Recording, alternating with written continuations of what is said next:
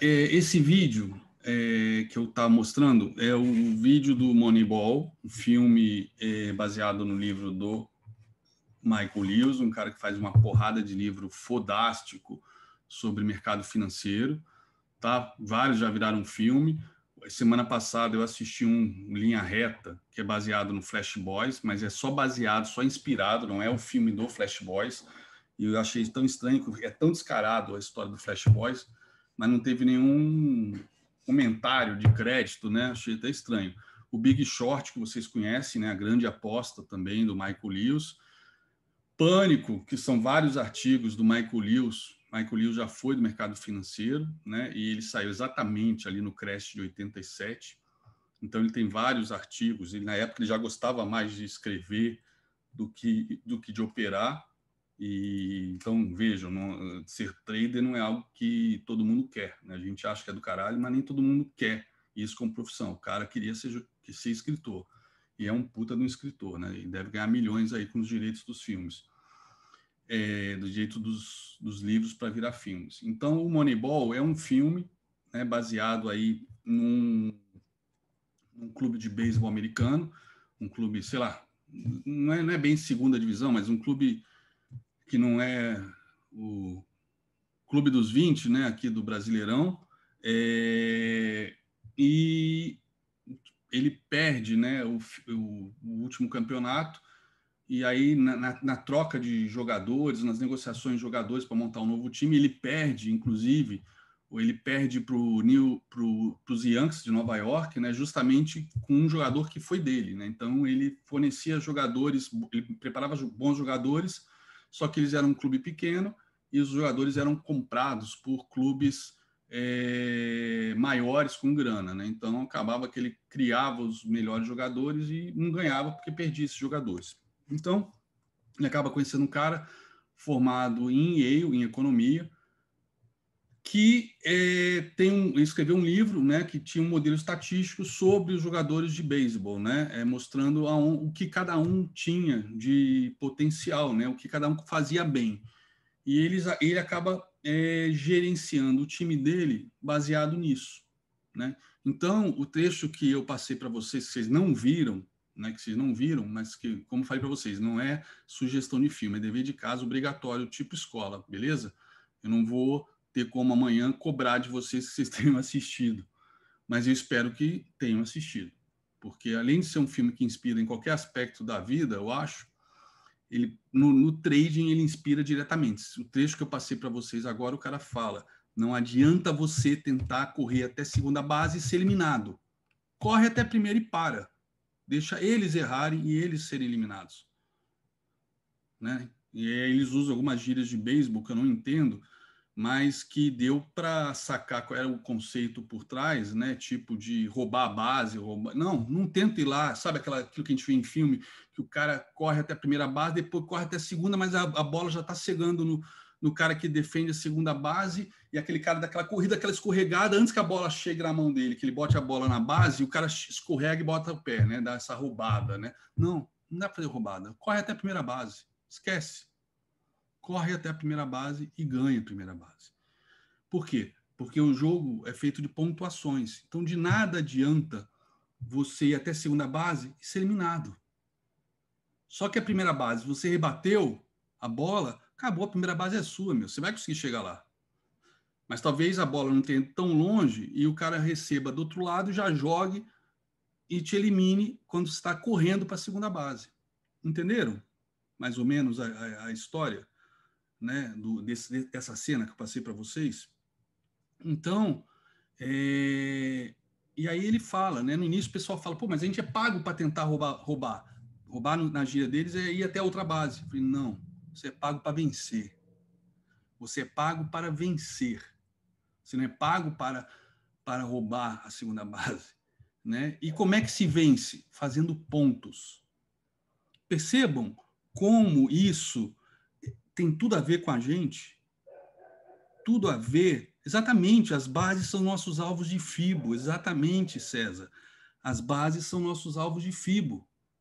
Né? O home run seria aí nos três alvos de FIBO, ainda fazer a inversão no terceiro alvo porque ali deu, como a gente fez hoje, deu um candle de exaustão com volume de reversante na pega-volta. A gente vai até o terceiro alvo e ainda pega a correção. Aí é o home run, aí é o tesão, né?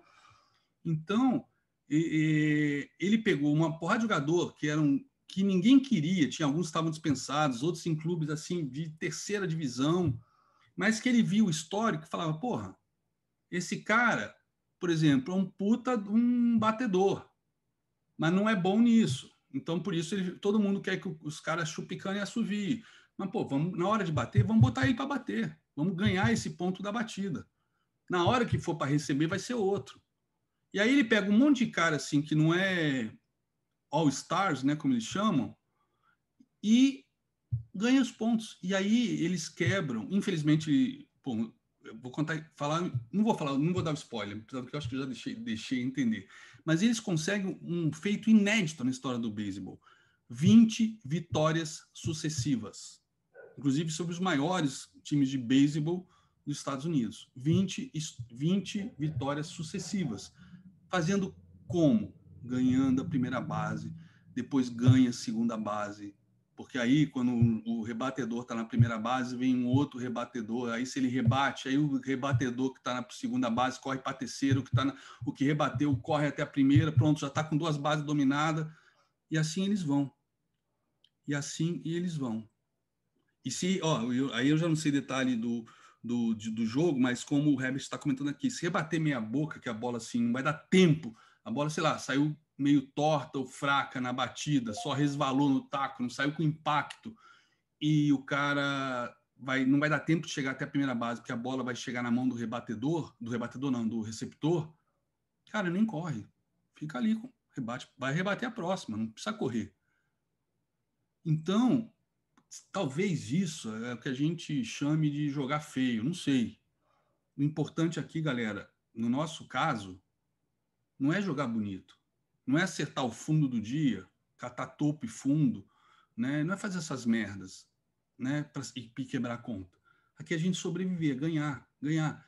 Então, o nosso mapa mental, né, e isso foi uma coisa que eu descobri ao longo desses quatro anos, está muito, por exemplo, arraigado na questão do Fibonacci. Por quê?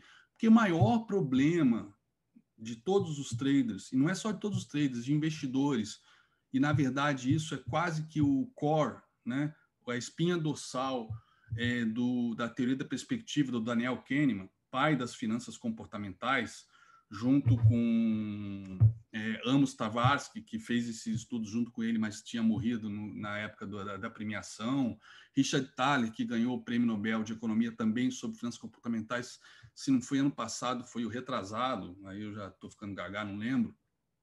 É, mas o Daniel Kahneman foi o primeiro, até porque foi o primeiro cara que não era economista, ele era psicólogo. E aí sim, ele criou então esse conceito de psicologia, psicologia comportamental dos investimentos, né? Que no caso Mark Douglas é a psicologia do trade, é um negócio mais focado mesmo no nosso dia a dia. O, o Daniel, o Daniel, né, já que é, é gringo, é, ele não, não, via, ele, ele via no, no, geral, como os investidores, etc. Né? Então, no final das contas, eu sempre falava, eu falava brincando, dando aula, isso aí está na minha está lá no Ogroflix, é, é, a gente pode traduzir a teoria da perspectiva por comer feito passarinho, cagar feito elefante. Vai morrer de inanição. Tá? Ou então, uma linguagem mais bonita, mas também usando o jargão do nosso do nossa profissão, é, seria é, alfaçar. Então, você toma stops, um monte de stop, e quando pega um gain que poderia pegar mil pontos, como vários pegaram hoje no índice mil pontos, vários pegaram mil pontos no índice, vários pegaram, sei lá, 20, 30 pontos no dólar. Imagina, você toma um stop de 10 pontos no dólar, na hora que você pode ganhar 40, você saiu com, com 10. Com 10. Ou seja, não vai dar certo, a conta não vai fechar. Tá? Então, é importante aqui nesse nosso trabalho, acho que não só agora, acho que para o resto da vida, mas principalmente agora, mais do que nunca agora, para quem está começando ou para quem já tentou e só se fudeu, só girou, girou, perdeu, não teve consistência, às vezes ganhava uma boa grana num dia, mas perdia o dobro no dia seguinte, quase história das metas diárias, etc., de usar alavancagem máxima, né? Eu recebi esses dias mesmo, estava olhando no final de semana meu e-mail, ó, fui lá na retação de FIBO de 61 do índice e está indo lá para o terceiro alvo, tá? Só comentando, tá? Já que a tela está aqui na minha cara escancarada, não tinha como me furtar de comentar que está indo nos alvos. É... O que estava falando? Tá vendo? Por isso que isso distrai a gente. Olhar o mercado enquanto está dando aula. Estava é, falando do a teoria da perspectiva sobre perder. De quem, ah, de quem ganha, de quem ganha isso, muito isso, e ganha, depois é, devolve. É, ganha, ganhou, até ganhou bastante um dia, mas devolve o dobro, tem dias de fúria. Enfim, é, aqui uma das coisas que a gente preza né, é a questão de fazer o checklist, que estar dentro daqueles padrões? Sim. Se não está dentro daqueles padrões, não entra. Às vezes eu mesmo, por conta de, sei lá, as, as, mais de 10 mil horas de tela que a gente sabe que são famosas aí no livro do Blink, do Malcolm Gladwell, é, às vezes a gente faz operações por, por experiência, por instinto. Eu, principalmente quando sei eu que bato o olho aqui no dólar, no índice e no SP, às vezes o sinal do índice não está claro, mas o do dólar está claríssimo e eu vou então indo na contramão, um, um, na direção oposta do outro, cara, eu entro, antecipo a minha entrada. Por quê? Porque o dólar já avisou que, né, que vai. Mas isso é coisa que vocês vão adquirir com experiência, não é para fazer agora no T0 né, dessa jornada. A jornada eu espero que dure décadas na vida de como traders, né, como profissionais. Não é, não é para fazer um ano, dois anos, três anos ficar milionário, não. Isso aqui não é um modelo de investimento, isso aqui é um modelo de. Isso aqui é, não é um apenas um. Isso aqui não é um tipo de investimento, como buy and hold, renda fixa.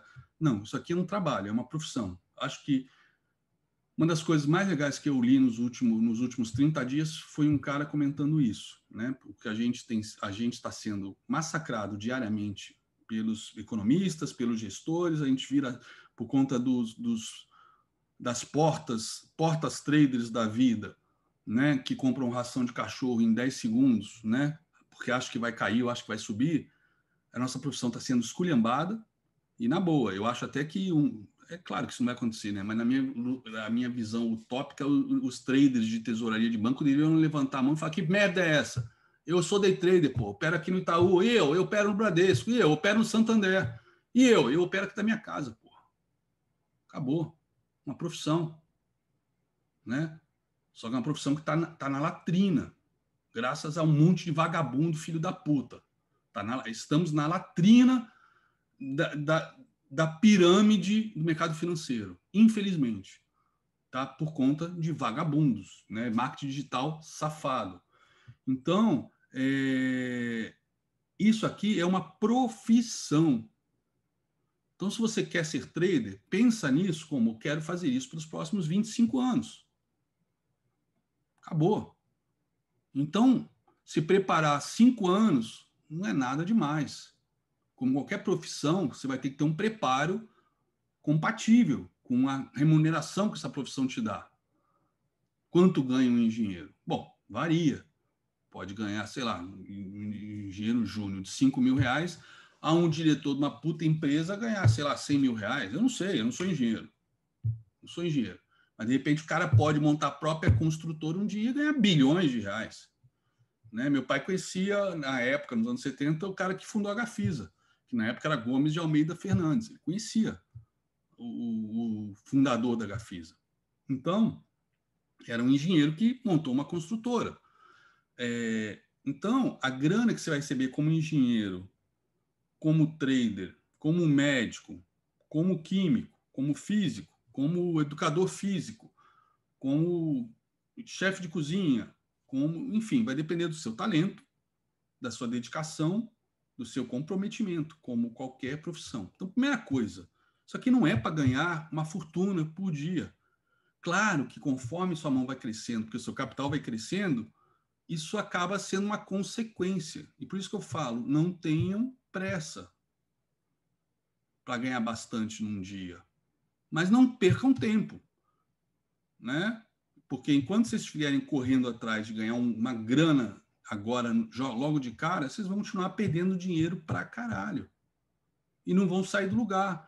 E vai, e vai uma hora vai ser game over, porque vai acabar a grana, vocês vão estar quebrados. E sabe Deus que mais impactos isso vai trazer na vida pessoal de cada um. Casamentos perdidos. Aqui na sala teve vários que já me reportaram que perderam casamentos desmanchados por causa disso. E também mulher, não é só homem, não. Geralmente a gente acha que é uma coisa mais de a mulher abandonar o homem porque ele perdeu todo, botou a família em risco, né? não foi um bom é, chefe de família. Também teve casos de, com mulher que isso aconteceu. Então, galera, é, isso aqui é uma profissão, então não percam tempo. Não fica repetindo o primeiro, o primeiro período, né, para ficar indo jogar totó lá no centro acadêmico durante 10 anos. Né? É melhor se candidatar logo a ser político do PT, né? que os caras são universitários é, profissionais, né? Ficam 10 anos na faculdade, lá no centro acadêmico, só panfletando, ao invés de estudar, se formar e, e produzir. Então, se você não quer ficar no centro acadêmico jogando totol, pebolim, como se diz em São Paulo, né? Se, se você quer realmente desenvolver uma profissão, galera, enxerga essa porra, uma profissão quanto antes. Ou seja, não percam mais tempo e não tenham pressa. E não tenham pressa. Ó, mais um colega aqui comentando exatamente isso, aqui no chat, que o casamento dele tá por um fio. É foda, galera. Isso me, me, me puta, me massacra quando eu leio isso porque eu sei que devem ser dezenas, dezenas, tá? Dezenas de pessoas aqui na sala, provavelmente. Hoje, saiu uma, eu, o Teco Medina estava comentando, a coisa do day trade picareta tá tão escuro, tá tão exacerbado que virou matéria. Comentei com vocês na sexta, sexta ou na quinta. Não, que sexta não estava aqui por causa do meu braço. Comentei com vocês na quinta, que eu vi isso na quarta, isso. Na quarta foi ao médico e na ida eu vi na CBN. Foi, o assunto foi sobre os, os professores de day traders, de day trades, né? Day trade, vai. Os professores de day trade, os picaretas, né? Prometendo, prometendo ganhar não sei quantos por dia. Então, é... hoje, dos três, quase 3 milhões de CPFs que tem na Bolsa, galera, 20%, que foi o número que o Teco Medina trouxe, falou que é o número oficial da B3, fizeram day trade. Não sei se foi só day trade ou não, mas pelo menos fizeram day, pelo menos um day trade no mês. Então, estamos falando aí de 600 mil pessoas. Tudo bem que eu acho que esse fenômeno não é só nacional, acho que é internacional, né? de Estados Unidos, com a corretora Robinhood. Mas, né, é todo mundo operando por celular, que é uma boçalidade. Quem, quem é, outro dia eu falei para vocês, foi quando? Foi semana retrasada, que eu tomei uma puta de uma pica no dólar, porque eu estava no celular. Eu saí de casa, né? Sabia que o mercado ia dar uma entrada. Ah, não vou perder essa entrada, mas eu queria cortar o cabelo, queria ver algumas coisas para a festa aqui do final de semana. Saí, né? Fiquei com o celular na mão. A hora que deu a entrada, eu fiz a entrada. Só que a porra do 4G ou do, do, do, do aplicativo travou, sei lá o que que houve eu achei que, né? E eu, como vocês sabem, eu gosto de estopar na mão, né? Para não tomar violino. espero que ando fechar abaixo do meu nível de stop ou acima do meu nível de stop para estopar. Pô, o negócio comeu o game quase toda semana. Quando no celular. Então, o celular é um caso extremo e, na boa, foi cagada minha. Eu tava com puta game naquele dia, não tinha que ficar querendo pegar mais, né? Mas foi, ah, que mole, fácil, vai bater lá no FIBO de 61, vai voltar, e realmente bateu, voltou, mas depois foi para baixo e furou de novo. Enfim. Mas hoje o celular todo mundo tem, né? Então os caras que querem enganar o maior número de gente estão vendendo né, a, a, o sucesso, a profissão pelo celular, né? Agora, Zé, você operava no celular lá no Itaú? Os DIs, dólar? Não podia nem usar celular lá. Ah, pois é. Pois é. E trader profissional. Por que, que não podia usar celular? Na época era por questão de né, compliance, né? O dinheiro que o Itaú, um Bradesco gira, né, para não rolar informação privilegiada para algum amigo fazer front, front running, sabendo que de repente o Zé ia desovar 5 mil contratos. Era por causa disso. Mas, na verdade, a, a pergunta que eu fiz é: pô, um trader profissional opera pelo celular? Não, cara, está sentado numa mesa com um monte de tela, telefone, tudo, as informações necessárias para operar. Você vai operar pelo celular, meu? Cretinice. Acho que a primeira coisa que vocês podem fazer já é cortar isso da, da lista de, de pessoas, cara, operando pelo celular. Né? Eu operei porque eu achei que dava tranquilo. Cagou, cagou minha semana. Por quê? Porque caiu o sinal, o aplicativo travou, não sei, ainda nem quis saber, nem corri atrás. Porque não era, o erro é meu no final das contas. Vou ficar, ah, será que foi o aplicativo que travou? Pô, se for, vou pedir, vou pedir para Nelógica o estorno. Ah, tomar no cu, meu. Ganho de novo em dois dias aquele, aquele stop, sabe? Em um dia, para quê? Esquece, bola para frente. De novo, acho que a última vez que eu peguei o celular, sei lá, tem uns três, não, foi iPad, três, quatro meses atrás. Celular, acho que, sei lá, ano passado, a última vez. Não é para operar, não é ambiente profissional. Isso aqui é uma profissão séria. A mesma coisa que você querer fazer cirurgia, cirurgia de, de uma pessoa, na, é, tipo assim, ah, puta, eu tô indo para praia, sabe? Mas eu tinha que fazer a cirurgia desse paciente. Foi o seguinte, em vez de fazer lá no centro cirúrgico lá do Einstein, vou falar para ele dar um pulo na Riviera, vou operar, vou operar o cérebro dele ali na cadeira de praia. É a mesma porra. É a mesma porra. Tá? Então, essa coisa é uma profissão super séria e estamos sendo é, destroçados em redes sociais por conta de tudo sendo ensinado e feito errado. Então, vocês estão chegando aqui hoje, muita gente chegou aqui hoje na sala, né, início de mês, é normal, a galera, sei lá, recebeu salário, enfim. Muita gente entra sempre no início do mês, hoje é dia 5. E vocês que estão chegando, uma porrada de vícios, cara, é a hora de eliminar esses vícios, mais, é agora, é o mais, o mais rápido possível. Quanto mais rápido você eliminar os vícios, nem que você tenha que passar por um período de desintoxicação aqui na sala com a gente, sem operar, só olhando, só olhando. Né? Tipo assim, ah, amanhã não vou operar. Peixe aquele cara que faz 30 operações por dia, né? Imagina, ficar sem operar já, é, já vai ser um milagre, né? Porque de repente, se abrir a primeira boleta, já dispara a adrenalina, o vício, e o cara daqui a pouco já girou, girou, girou, né? E a gente e a, não saiu do lugar, perdeu dinheiro, quebrou, teve dia de fúria. Então esquece. Primeira coisa é parar com isso. Antecipar a entrada, entrada pelo risco. O Mark Douglas, no livro Trade Disciplinado, ele quando ele fala de trade system é muito legal. Eu, já, eu nem lembrava mais disso. Às vezes eu falo as coisas aqui e não sei da onde está vindo, aí eu vou no livro e descubro que pô, aquilo estava no meu inconsciente de anos atrás, sete, oito anos atrás, quando eu li esse livro, até mais é, ele fala que o trade system ele existe não é só para a gente pegar as entradas de livro, não é apenas para isso. As entradas a gente monta o trade system para pegar aquelas entradas fáceis, aquela que o dinheiro cai. Não é apenas para isso. O trade system ele serve para a gente botar um pouco de ordem nesse caos que é o mercado. De sobe, desce, sobe, desce, sobe, desce. Então, na verdade, caos não é a palavra correta. É, ele, é até incorreto. O mercado não é um caos. Né? A galera que fala mal do day trade ou da análise técnica fala: não, o mercado é um caos, é randômico, né? e só tem fundamentos para longo prazo, mas no curto prazo nem sabe para onde vai. Né? Balela, buchitagem. Quem fala isso não sabe, Pode ter doutorado que for, como eu vi o cara no outro dia falando, PHD, que vinha enfiar, enfiar o canudo no rabo, porque está falando merda, não sabe nada de análise técnica para falar um negócio desse. É, o mercado tem lógica. Ele anda em onda, sim. O cara falou, cara fez pouco caso desse movimento de ondas. Porra.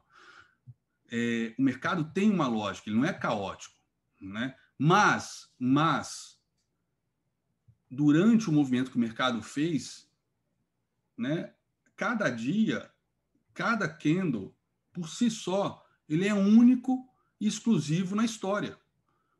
Ele pode até parecer com outros padrões, né, que é isso que a gente procura.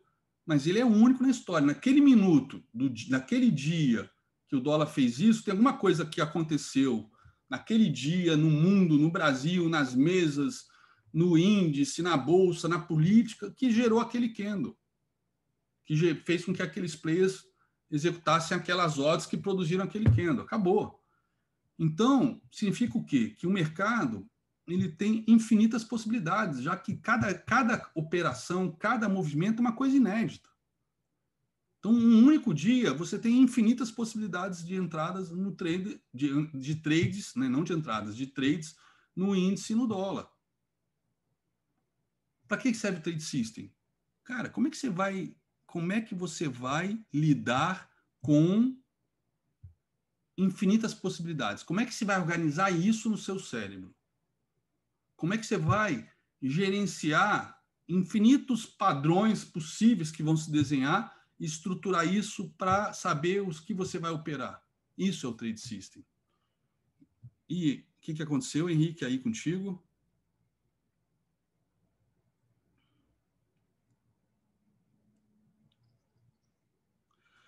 Sim, sim, sim. Isso aqui já.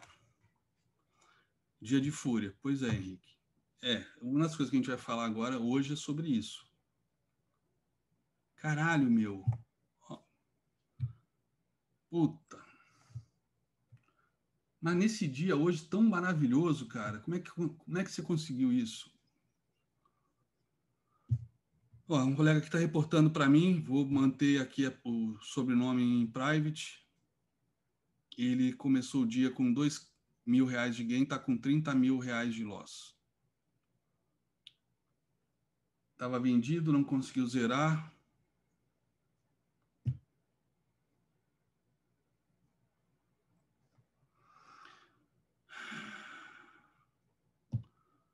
Bro, eu não sei quanto isso é, impacta na sua vida financeira, mas Tenta manter a cabeça fria agora, bicho. Agora, cara, perder 30 mil reais, meu. Você tá operando Não, mão tem, pesada, cara. Tem que estopar também, né? E o stop e outra coisa, tá vendido, o negócio vira, você tem que estopar, cara.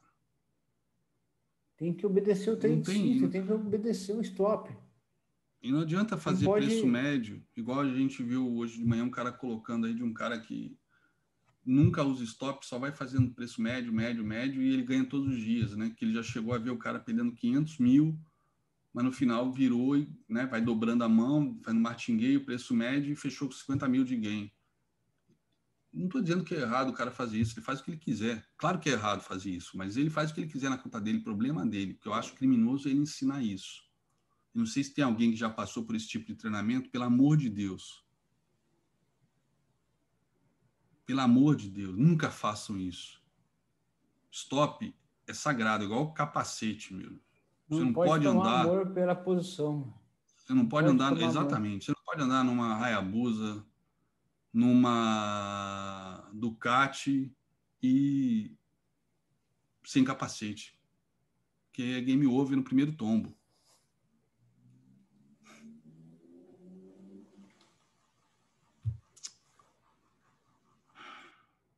Puta merda. Bom, fica aqui, se eu conseguir. Não sei nem se eu vou conseguir assistir essa aula, meu, depois disso que você acabou de me falar. Preço médio só vai dar certo se for dinheiro infinito. Aí sim vai dar certo sempre. Aí sim vai dar certo sempre. Mesmo, mais ou menos, né? Porque dependendo, se você chega no final do dia, continua fazendo preço médio, porque o negócio não voltou em nenhum momento, chega no final do dia, se você não tiver margem para manter aquela posição para o dia seguinte, você vai ter que zerar. E aí não teve o, teu buraco só aumentou. Né? E vamos supor que você tenha grana para o dia seguinte, para margem, para dormir posicionado, na esperança que no dia seguinte suba. Se no dia seguinte abre com um gapão de, sei lá, 30 pontos, 40 pontos, e cai mais ali, dali em diante, e aí como é que você vai fazer preço médio num cenário desse? Cara de, de, não sei quem é, não tenho a mínima ideia, não, nem quero saber, mas devia denunciar, vocês deviam denunciar ele para a Polícia Federal. Isso é crime. Vamos lá, galera, segue o baile. Então encarem essa porra aqui como uma profissão. Profissão vocês não vão se formar em um ano, dois anos, três anos. Uma profissão, uma profissão de nível superior, por exemplo. Tá? Vocês até podem, né? Como lá nos Estados Unidos é permitido, um curso de cinco anos fazer em dois. Aqui não dá, aqui você não consegue. Tem, tem um mínimo aí de, de, Você não consegue antecipar matéria, nem, nem que você estude o dia inteiro. Nos Estados Unidos você pode, você consegue fazer, de repente, um curso de cinco anos em dois. Né, estudando para caralho, manhã, tarde e noite, fazendo aula, todas as aulas possíveis, as eletivas, etc. No day, no day trader, no day trading, talvez até, sei lá, você consiga, mas você é mosca branca, né? É mosca branca. Então, vocês estão, ah, quem está chegando aqui agora, ou quem está mais tempo, nunca me ouviu dizer isso, duvido, duvido porque eu, eu, digo isso toda hora, está achando que você vai chegar aqui para ficar milionário em um mês, pode cortar, tirar o cavalinho da chuva. Nenhum ano. Nenhum ano. Como eu falei, isso aqui não é investimento, isso aqui é uma profissão. Então, a gente tem que passar por todos os estágios de desenvolvimento profissional. Por isso que eu falo, não importa se você tem um milhão de reais ou mil reais na conta. Vai operar índice, mil reais, um contrato. Você tem um milhão na conta? Resgata os 999 mil restantes e bota em renda fixa, de preferência que não seja nem na mesma corretora. Seja no teu banco, pessoa fala, ah, mas paga pouco, foda-se. Melhor você ganhar aquela merda daquele CDI do que você bater o desespero e usar essa grana na, que está na corretora para recuperar um loss que você teve. Como o nosso colega acabou de falar, que saiu de 2 mil e foi para e foi para de 2 mil ele foi para 30 mil negativo agora. Vocês não podem confiar em vocês. Eu não confio em mim. O grosso da minha grana está no banco. E minha esposa não deixa, quer dizer, não deixa. Eu, se eu quiser, eu vou lá e saco, mas a conta conjunta ela está lá de olho, monitorando. Eu não vou criar um, um caos no meu casamento por causa disso. Para recuperar um loss. Ai, perdi 200 mil, preciso recuperar. Vou sacar lá 500 mil para day trade. Esquece. Esquece. Já foi o tempo que eu fazia isso, já fiz várias vezes a gente não é confiável em hipótese alguma. O Jesse Livermore, que todo mundo paga pau, todo mundo sonha em ser o Jesse Livermore. Às vezes o pessoal fala, pô, André, você é o Jesse Livermore brasileiro. Ah, que legal, bacana. Mas na verdade eu fico puto, porque o cara quebrou quatro vezes. Eu quebrei três, ele quebrou quatro. A única diferença é que ele quebrou três e recuperou, assim como eu recuperei. Na quarta ele se matou. Eu acho que eu também faria o mesmo. Eu não tenho mais estrutura emocional para quebrar uma quarta vez. Eu simplesmente, eu, eu não sei o que, o que eu faria. Aí sim eu seria o Jesse Livermore cuspido e escarrado, porque eu quebraria fácil. Eu, eu talvez fizesse uma merda muito fácil se eu quebrasse de novo. Quebrasse assim, quebrar quando eu falo, galera, quebrar quando eu falo não é quebrar a banca de 500, 500 reais, tá? 5 mil reais. Primeira vez que quebrei, em valor de hoje, foi um milhão e meio, quase dois milhões. Isso é quebrar sem desmerecer o, o, o que vocês economizaram para operar, isso é quebrar. É você ter um padrão de vida compatível com essa grana e de repente não ter mais nada. Não tem nem plano de saúde, tem que usar o SUS. Não tem nem dinheiro para pagar aluguel, para nada. Zero, rosca. Nada. Acabou. Nada. Né? Isso é quebrar. É, hoje o negócio está tão escroto que virou carne de vaca, quebrar. A galera fala, ah, eu já quebrei 17 vezes. Então você não quebrou nenhuma, bro. Você zerou a conta, você zerou a tua cartela de bingo. Você zerou a tua cartela de bingo. Você entrou com 500 pratas, né? Até hoje esse termo todo mundo usa, aqui na sala mesmo vocês usam volta e meia. Ah, qual é a banca legal para eu tirar uns 20 mil por mês? Porra, eu olho isso no chat eu nem respondo. Antigamente eu mandava tomar no cu. Falava, pô, meu, você tá de sacanagem, meu? Você caiu de paraquedas aqui, você não me conhece, não conhece a sala, mas você tem cara de pau de perguntar um negócio desse. Tá errado, você tá no lugar errado. Vai para uma corretora aí de girar para ver se quem sabe você ganha. Né? Então, isso infelizmente é o padrão de hoje. Né? Gira, é, que o cara entra hoje para ganhar já querer 20 mil reais. Qual é a cabeça, a cabeça dele? Quer ganhar mil reais por dia. Ah, 10 mil reais dá para ganhar 20 mil, dá para ganhar mil reais por dia? Dá, cara. Claro que dá. Com futuros, claro que dá. Quantos contratos você consegue operar com 10 mil reais? Cada 25 reais é um contrato. 100 reais dá quatro contratos, né? 40 contratos, mil reais já dá 40 contratos. 40 contratos, mil pontos, né? 40 contratos, mil pontos, já bateu quase, bateu 8 mil reais. Oito vezes que você sonha em ganhar. Só que é ilusão, essa galera, ninguém ganha mil pontos todo dia. Ninguém opera 40 contratos, né, com 10 mil reais na conta e fica inerte. Perdeu 200 reais, 40 contratos, perdeu 200 reais, perdeu 300 pontos, vai em stop técnico, 200 pontos, 250 pontos, vai em stop técnico, com 40 contratos, já vai dar 1.200, é, sei lá, 2 mil, 2 mil reais, é isso? Sei lá, já perdi, eu já perdi as contas aqui. Conforme vai passando as horas, meu cérebro vai derretendo. Quanto que é? 40 contratos, 250 pontos. O ponto é 20 mil. centavos. É, é 2 mil, acertei? Caralho, Sim. acertei, 2 mil. Não, 2.400. Tem gente aqui falando 2.400. É 2.000? 2.000. Então, você já perdeu 20% dos seus 10 mil reais. E se 10 mil reais é tudo que você grana que você tem, é moto, uma moto que você vendeu, sei lá. Cara, acabou teu emocional, você está morto. Você não recupera mais. Vai ser um em mil para conseguir dar a volta por cima depois de um stop de 250. E aí vem um maldito de stopzinho financeiro, né? Não, mas eu não vou perder 250 pontos, vou botar stopzinho de 100. Beleza, toma quatro stops de 100 pontos. Porque aí começa o vício de tentar achar topo e fundo, porque os stops são baratos, é só a sombrinha ali do martelinho, a sombrinha da estrela cadente, né? Você bota uma merda de uma resistência, uma merda no suporte, qualquer martelinho e estrela cadente que apareça ali, você compra ou vende, né? Coisa mais tosca que eu já vi na minha vida, né? e toma uma porrada de stop. E quando acerta uma reversão de, pela primeira vez, que o negócio começa a andar, porra, o nome já disse, é reversão. Você acertou a reversão, então pega a tendência. Não. Andou 200 pontos a favor, 250, voltou 30, 40, você já, já começa a escorrer bosta entre as suas pernas e você zera. E aí o que acontece? Você tomou um monte de stopzinho de 100 pontos e quando ganhou, ganhou 150, 180. Vai dar certo isso aonde? Quando? Nunca. Nunca. Ô, né? André. Oi. Então, até né, o pessoal de hoje que está junto comigo na sala, o, o pessoal tem até relatado, porque o que acontece? Quando a gente fala às vezes de operar as ações em si, elas não têm esse tamanho de alavancagem.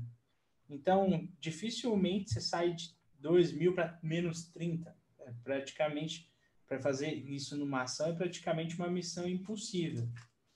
E até muita gente que está lá junto comigo hoje, pessoal, tem dado um feedback positivo, porque para quem está aprendendo, a alavancagem ali, é, você não corre o risco de, de repente, ter aquele, aquele falso engano e, de repente, um dia ser pego de calça curta na alavancagem e perder um mês inteiro num trade, né?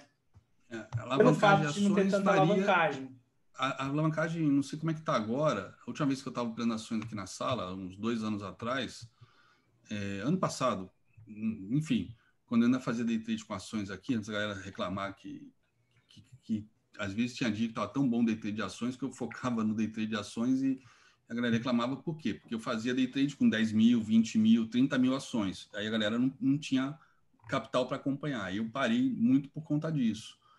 É, mas isso já era, um, já era um sinal lá atrás que a galera queria operar com alavancagem pesada e não tinha capital para isso, porque não conseguia operar alavancagem de ações. Porque na época já se permitia, isso há dois anos, eu não sei como é que está, 50 vezes o capital em ações. Não sei como é que está hoje. 50 vezes ainda é coisa para caralho.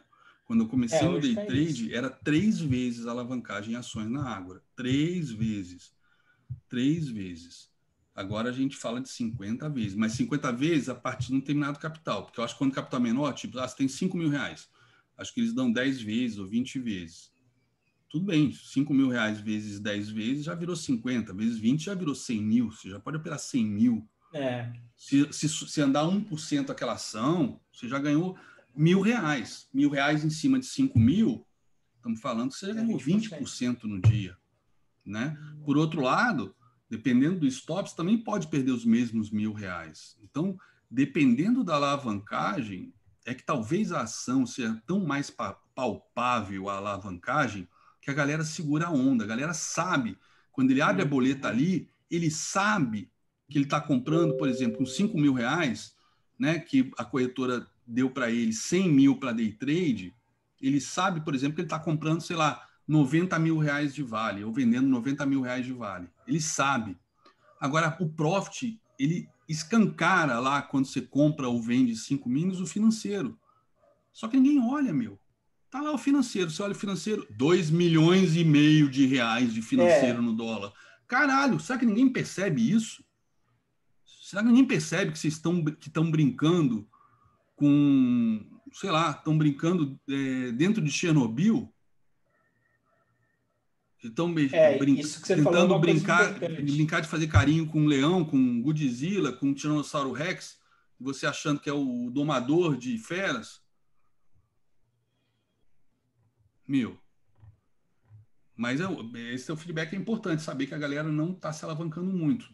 Talvez, dando meu, meu pitaco aqui, porque ele vê o financeiro. No índice, no dólar, apesar do financeiro estar tá ali na porra da boleta, a galera não enxerga o financeiro. É uma coisa tão surreal. Uma coisa que eu gosto de falar sempre, lembrar sempre, um mini contrato de dólar, um mini contrato de dólar representa, quer ver, ó, 5.574 pontos, né, que está o dólar agora, vezes 10 reais. 56 mil reais, né? 55, é, 56 mil, 55.740 reais. Quanto você precisa para operar essa fortuna? 25 pratas. Eu vi ah, esse loucura, final de semana. Loucura. Um filho da puta aí fazendo aqueles e-mails de copyright, um cara que já, já foi trader um dia, pelo menos se dizia que era, dizendo, ah, venha ganhar, ganhar é, de 500 a mil reais apenas em 10 minutos por dia, muito mais do o salário mensal venha com apenas 25 reais no bolso, venha ganhar mil reais. Filho da puta, meu. Tinha que pegar ele, amarrar num poste e chamar o time do Chicago Bulls para comer o cu dele, sabe? Incluindo, incluindo, incluindo os reservas. Para deixar de fuder os outros. 50, um contrato de, de mini dólar. 55.730 reais nesse segundo. Com 25 pratas. É, o pessoal perdeu a noção, né? O pessoal perdeu totalmente a noção. Virou bingo, né? Virou bingo, virou jogo, bilhete de loteria. Por isso que falam, por isso que falam. É banca. É banca. Não é margem, não é o dinheiro da sua vida. Não é o teu capital de risco, ou o teu capital de venture capital para montar uma empresa, né? Todo mundo que quer ser day trader tinha que pensar que essa merda é uma empresa. Então você tem um capital para começar essa empresa. Com quanto você vai começar a sua empresa? Ah, vou começar com 500 reais. Aí tomar no cu, meu. Nenhuma empresa se começa com 500 reais. Agora, você pode usar esses 500 reais para aprender, para financiar a tua faculdade. Tua faculdade de ser um profissional do day trading, como era o Zé no, no Itaú, como tantos outros em tantos bancos por aí. Tem que parar de demonizar. Eu fui um que sempre demonizei o day trade, mas agora que realmente é a fase que deveria realmente ser demonizado, porque tem tanto filha da puta, mas tem tanto que se tivesse, se eles voassem, a gente nunca mais ia ver a porra da luz do sol, que alguém tem que defender essa profissão. Não é possível. Não é possível que continue escrotizando tanto o nosso trabalho. Então, vamos lá. Vocês estão começando agora, bicho, é mil reais. E não é para operar 40 contratos, é para operar um contrato para poder o quê? Tomar stop e aprender com esse stop, sem ter um dia de fúria, sem perder dos mil reais. Vamos supor que, vamos supor que você, realmente você só tem esses mil reais, como a maioria está vindo para cá. Né? Eu vejo tanta gente falando assim: nossa, eu trabalhei seis meses de Uber para conseguir entrar na sua sala. Eu falei, caralho, me dá até uma dor no peito, porque eu falo, caralho, meu, então, sei lá, ele deve ter conseguido juntar 500 reais de margem, não pode perder de jeito nenhum. Então tem que proteger. Eu não posso ser irresponsável. Eu não posso, em hipótese alguma, transformar isso num cassino, né? Por isso que eu deixo passar tanta oportunidade que às vezes o nego fica até puto. E eu insisto, é melhor perder oportunidade do que perder dinheiro, principalmente vocês. Para mim, se eu perder uma grana, uma oportunidade legal, eu vou para a próxima. Vocês, se perderem, pode ser que dispare um dia de fúria, dispare um processo autodestrutivo na cabeça de vocês, vocês não se recuperem mais. Tamanho, talvez, o esforço que tenha sido vocês para virem para o mercado tentar essa profissão. Então, se é para tentar essa profissão, vamos fazer com profissionalismo. Não tem problema ser iniciante. Por isso que eu decidi, a partir de hoje, fazer essas aulas toda segunda, terça e quarta. Não tem problema ser iniciante. Que não pode ser iniciante amador, tem que ser iniciante profissional. Tem que fazer o dever de casa. Pô, a maior parte da galera acho que aqui não viu os treinamentos que estão de graça no YouTube, meu. Antes, sei lá, antes quando era pago, a galera pelo menos falava, já que eu paguei, vou assistir. Mesmo assim, não assistia, tá? É que agora veio, né? O número, sei lá, causa da pandemia cresceu, a gente vê. Agora que está no YouTube, eu não vou conseguir mais fazer esse tracking, mas antes, quando estava no site, ainda estava dentro do meu EAD, a gente via. O cara aqui falava, ah, quebrei, não sei o quê. Porra, a galera aqui da, do time já pegava o nome, já ia lá na base de dados, né, na, no banco de dados, para ver o tracking de acesso do cara. Lá, a maior parte das aulas não tinham sido vistas, algumas aulas tinham sido vistas um minuto, cinco minutos, algumas nem um minuto dava, era coisa de segundos registrado, o login, entrada e saída daquele módulo. Porra, isso é amadorismo, isso, o cara está vindo aqui para ganhar dinheiro. A sorte, a sorte que para passar em medicina é difícil para caralho. Porque senão, o que ia ter de nego entrando na faculdade? Se fosse, sabe, se não tivesse vestibular, que ia ter de gente entrando na faculdade de medicina porque ah, quero ficar rico. Sem empatia nenhum pelo, nenhum pelo próximo, sem tesão na profissão, né? no, no corpo humano, enfim. E entrar só para ganhar dinheiro. Na quantidade de gente que ia morrer aí, pelos hospitais, não né? imagino. Bom, esses caras jamais iam se formar. É, medicina já está assim em alguns lugares, é verdade, André. Isso que é mais foda. Isso que é mais foda. Já tá, a medicina já está beirando isso, essa loucura. Mas vamos lá. É, desculpa essa introdução, não, eu não vou fazer, não vou repetir isso todas as segundas-feiras, tá? Mas é, como várias pessoas entraram hoje, é legal dar esse feio de arrumação. Vocês estão aqui para serem traders, vocês não estão aqui para ganhar dinheiro. Porque eu não vou dar dinheiro para vocês. Quem dá dinheiro é pai e mãe. Às vezes avô, avó, padrinho, madrinha, mas é pai e mãe. Por tradição, pai e mãe que dá dinheiro. Eu não vou dar dinheiro para ninguém aqui. Isso aqui não vai ser sala de call. Nunca vai ser uma sala de call. Apesar do que, quando a gente está lendo o mercado, puta, cara, é mais quando a gente mapeia o, o ciclo, como é que está indo a tendência, né? Faz uma correção, bota o FIBO, né? Pô, faz o intermarket aí do índice, do dólar, do SP Futuro, e hoje fizemos com o DI, que foi maravilhoso, ajudou a gente pra caralho a confiar nesses alvos do dólar, usando o DI 22, que oscilou hoje exatamente 9,23%, né? É, confirmando aquela máxima que o índice machuca, o dólar aleja e o DI mata o trader, que o DI é coisa de cachorro grande. É... Pô, hoje foi tudo lindo, perfeito, mas vai ser sempre assim? Não. E hoje foi até um dia difícil, né? Tava difícil no início de enxergar o próprio dólar no início, o índice também. Até que quem teve esperança foi, foi uma, foi, né? O trade, eu acho que o trade do dia mesmo foi às 13 horas né? Mas, enfim, é, essas aulas que eu vou dar para vocês, todos os segundas, terças e quartas, se eu tiver de boa, faço na quinta também. É que na quinta tem as lives, então quero de tarde realmente descansar para estar tá com, com energia aí para fazer uma live de duas, duas horas e meia, como tem sido padrão. É, eu vou fazer da seguinte maneira: segunda-feira eu vou, a gente vai fazer trabalhar em cima do mapa mental. Mapa mental, eu já fiz essa aula aqui duas vezes tá? Tá disponível para todos vocês. A maioria não assistiu. Então, tudo bem, não tem problema. Eu eu, eu desisti, eu estava começando, pensando assim, meio que fazendo uma autoanálise, até na, na live de quinta-feira com o Fausto, né, quando a galera, eu estava batendo na galera que está trabalhando com amadorismo aqui no, no projeto, né, e, e, a galera falou, pô, André, mas nem todo mundo é assim. Eu falei, puta, é verdade.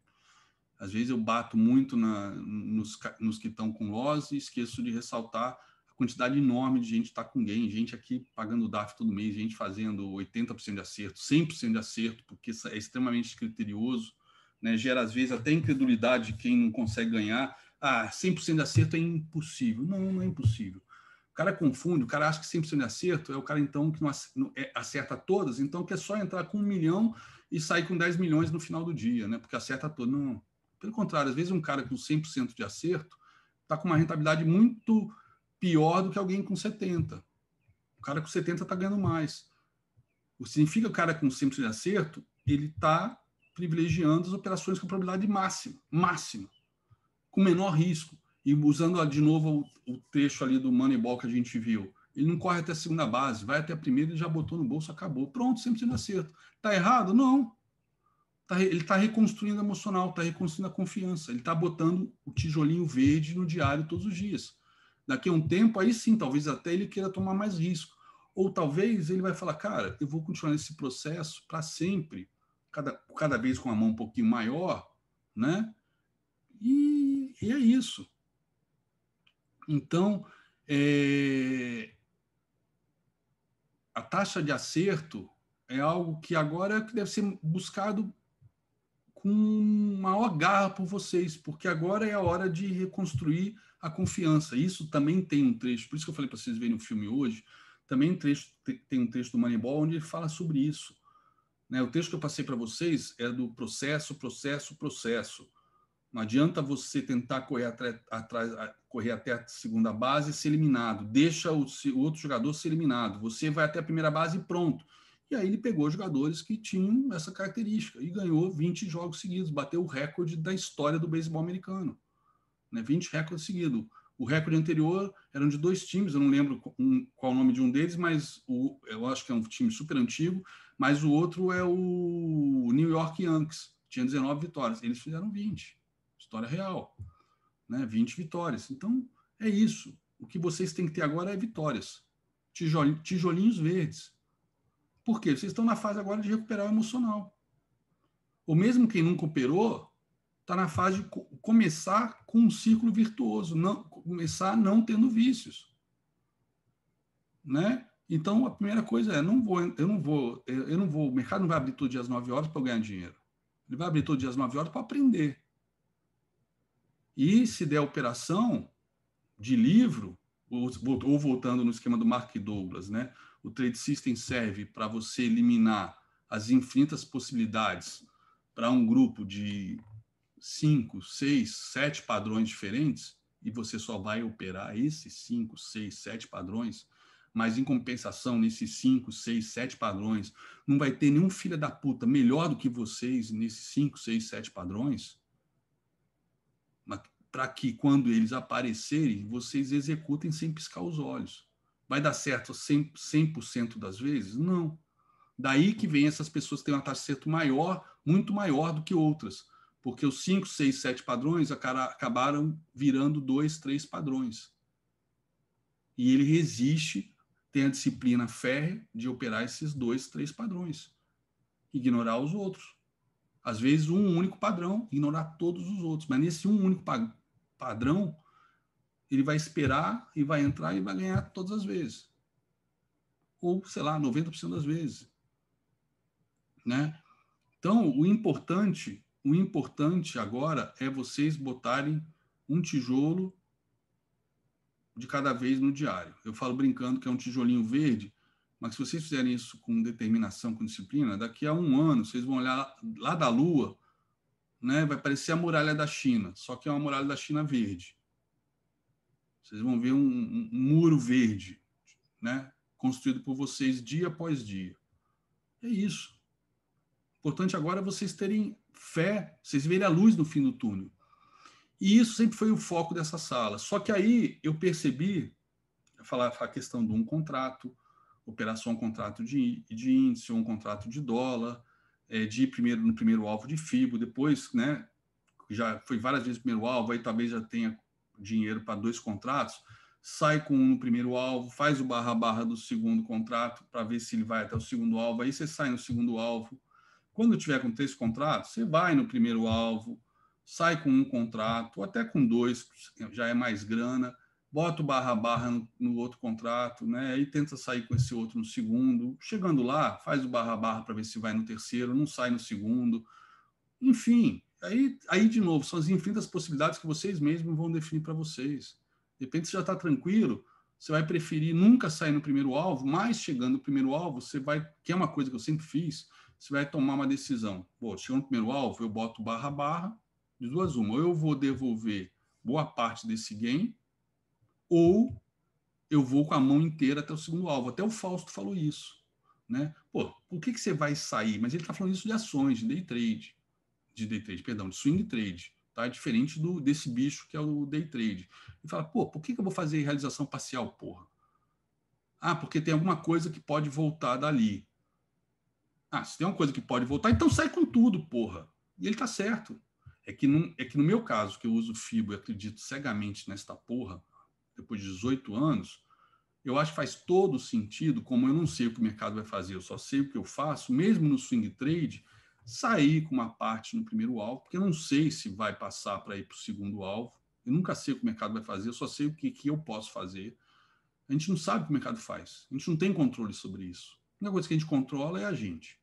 Porra, se a gente sabendo controlar a gente, que é, que é pouco perto da quantidade de variáveis, mas se a gente souber controlar a gente, o, ganho, o jogo está ganho. Se a gente souber controlar a gente, o jogo está ganho. Por mais que tenha outras variáveis que vocês não controlem. Isso significa saber escolher os trades que vocês vão entrar.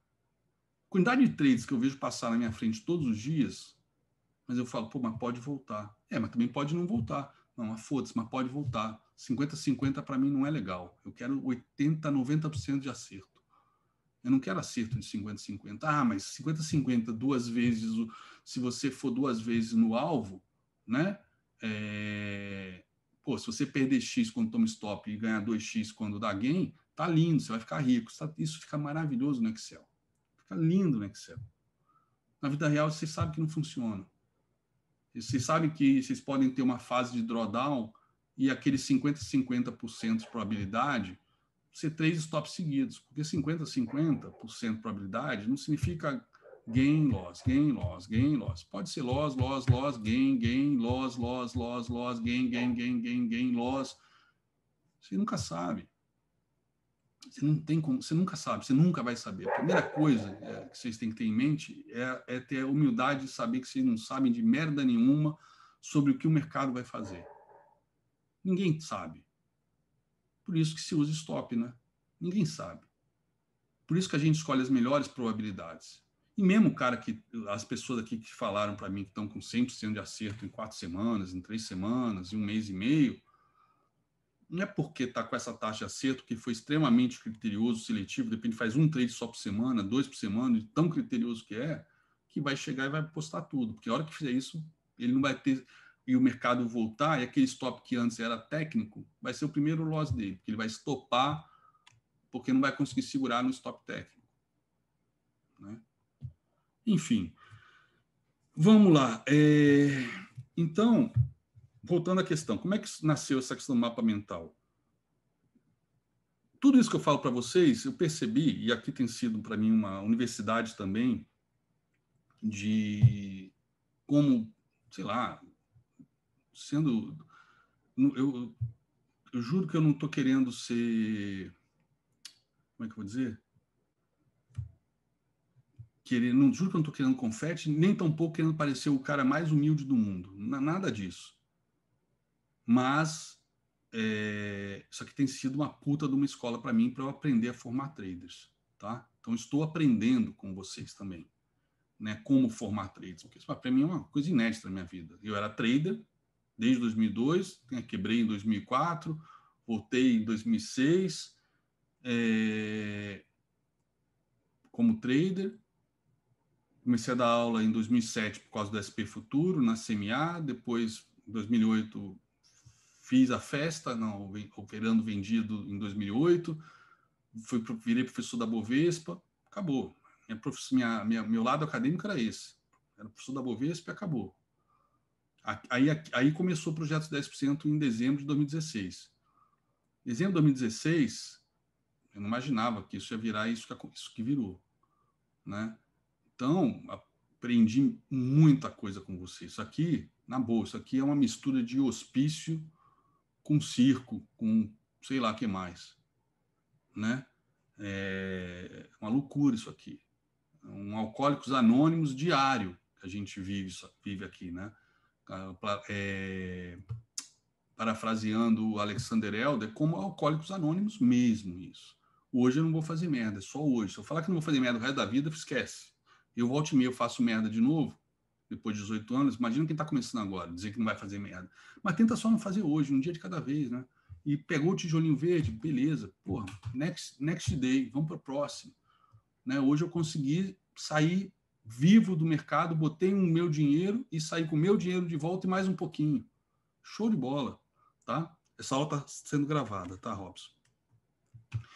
Só que mesmo com tudo isso que eu vinha falando para vocês, muita gente não virava, não virava, muita gente virando a chave, mas muita gente não virava. E um dia dormindo, eu dormindo, meio sonolento, eu sonhei com esse mapa mental, eu tive essa ideia do mapa mental, que no dia seguinte eu acordei assim, mó tesão, vim para cá, foi agora, no dia 31 de maio, 30 de maio, tá? E aí eu fiz um mapa mental, e depois eu repeti.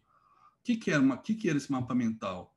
Eu tentei aterrissar de uma maneira estruturada, super empírica, baseada em tentativa e erro, tanto, tanto da minha parte quanto da de vocês, e também da minha parte, não como trader, mas também tentando preparar vocês para serem traders, é, por essa tentativa e erro, né, eu, eu é, decantei, né, fiz, é, aterrissei esse mapa mental, porque eu percebi que vocês não conseguiam ver a luz no fim do túnel. Falar só que, ah, opera um contrato, depois vai aumentando, sai no primeiro alvo, ok, Tá lindo isso. E aí isso não mudou nada. O mapa mental tem isso. Só que isso é um lado operacional. E eu acabo abordando outras coisas, outras disciplinas, né, outras regras, outros conceitos nesse, nesse nosso hospício, né, que é esse projeto, todos os dias, que, que eu tinha que, de repente, estruturar isso de uma maneira que tudo fizesse sentido. Né, para realmente a gente poder falar de um ano de aprendizado. Né? Não, não falar por exemplo, ah, é um ano de aprendizado, ou dois anos, três anos, mas todo dia fazia a mesma coisa. Aí a pessoa não consegue ver uma evolução nela mesma e todo dia igual. Cadê o aprendizado? Pois é, o aprendizado não vem das, no, no, dia a dia da sala. O dia a dia da sala vão ser todos os dias iguais. É um mercado aberto e a gente operando índice dólar. Vocês vão ter que fazer o planejamento de vocês, desenvolvimento pessoal. Né? Só que isso é uma coisa que eu nunca pensei em desenvolver em fazer. E eu fiz o negócio aqui né, em tempo real com vocês, fui, fui vomitando as coisas e, e nasceu o mapa mental. E aí eu fiz mais uma vez, é, uns dois meses depois, a minha ideia era revisar isso toda semana, mas, puta, não dá para revisar. Eu, é difícil, às vezes, ter esse planejamento, né? Na outra semana que a gente ia revisar, uma menina disse que quebrou, que ia, puta, ia se matar, puta, já descaralhou a sala, pô, foi uma loucura, foi uma doideira aquele dia. Aí no outro Final, na outra. Cala a boca, Cid, ninguém te chamou. É, e no outro, na outra semana, tinha payroll, tinha não sei o quê. Enfim, já quebramos o, a sequência. E outra coisa, o que, que eu vou fazer de revisão do mapa mental toda semana? Não tem o que eu fazer de revisão. O que tem que fazer são vocês. De ver o que, que você fez certo e fez errado. O que eu estou pensando em fazer a cada semana é repetir o mapa mental e sempre de uma maneira diferente, porque assim como as minhas aulas são todas sem, sem PowerPoint, sem slides, está tudo na minha cabeça, cada semana vai ser diferente da outra, talvez com, a, com, os aprendizados daquela semana, talvez com os aprendizados que eu vou ter com vocês naquela semana, vocês com, a, com, o que vocês fizeram de certo e errado naquela semana. E também, é, o que eu estou querendo também, estou partindo para uma outra abordagem agora, até por conta de, do, dos vários livros que eu estou lendo, né? Os benefícios aí de sair totalmente das redes sociais, graças a Deus, e agora depois desse filme Social Dilema, acho que não tem mais volta mesmo. É... A gente tem que manter a coisa simples, então não tem muito que a gente ficar né, é, remexendo o mapa mental, mudando, porque se a, galera não conseguir seguir aquele, o mapa mental, não adianta mudar ele, pintar de cor diferente, que ah, agora eu vou fazer. Não, vai da disciplina de cada um.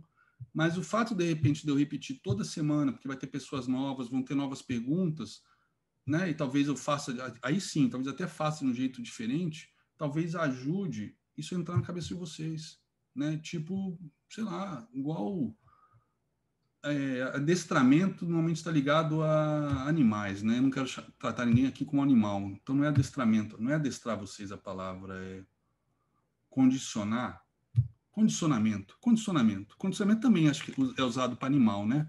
Mas eu acho que também é usado para seres humanos, né? Condicionamento, né?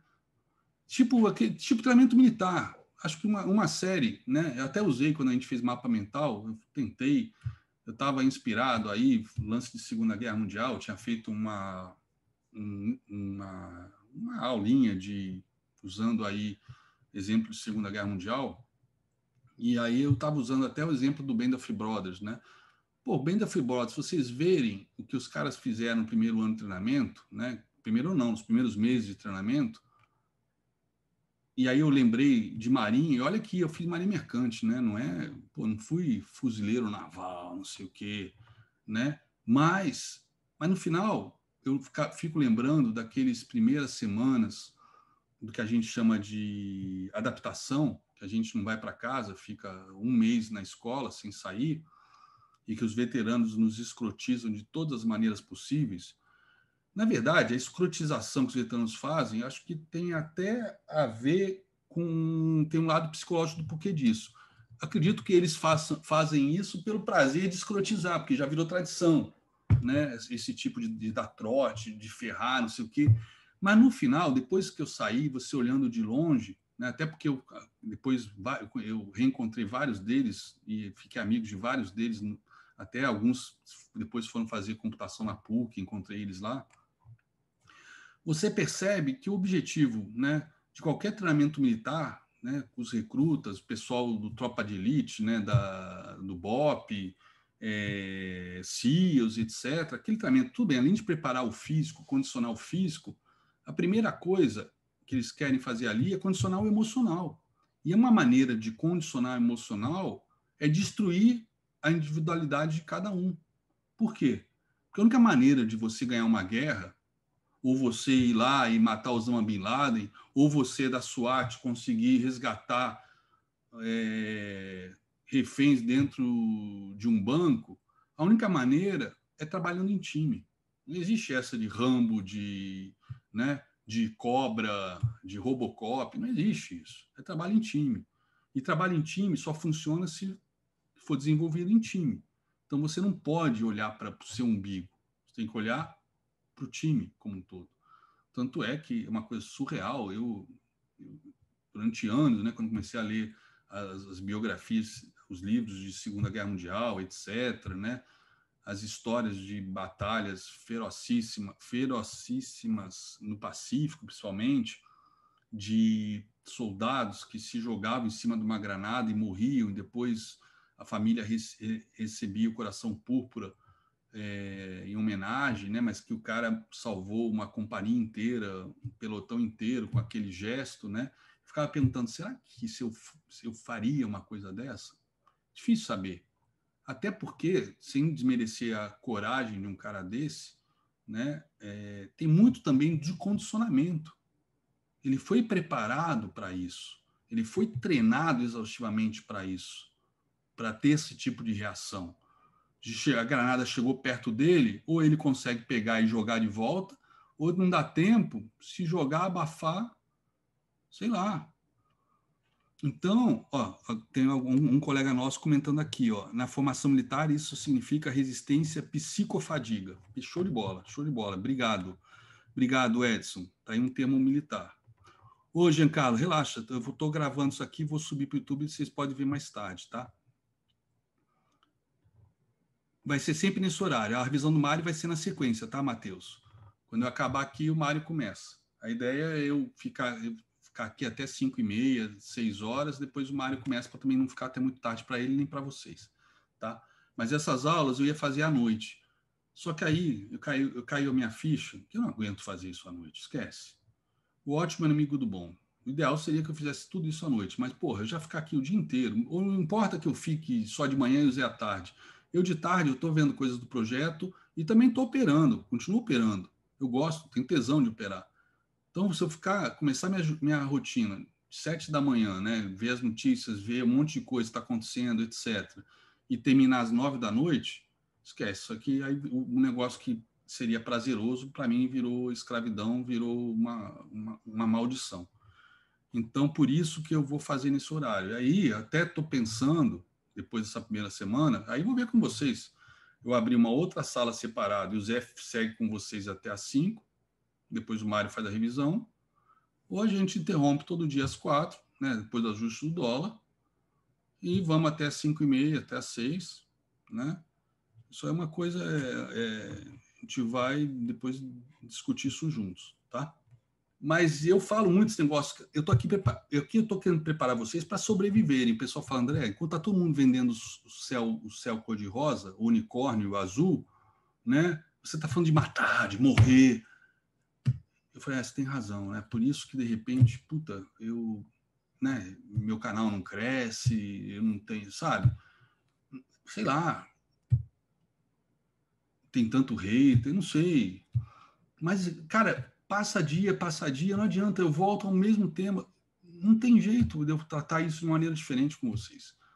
Se eu não falar que isso aqui pode matar vocês, que pode, porra, já quase morri, cara. No sentido, sabe, de game over total. Mulher grávida, com filho na barriga, eu sem plano de saúde. A outra vez que eu quebrei, eu tinha R$ 2.500 na conta.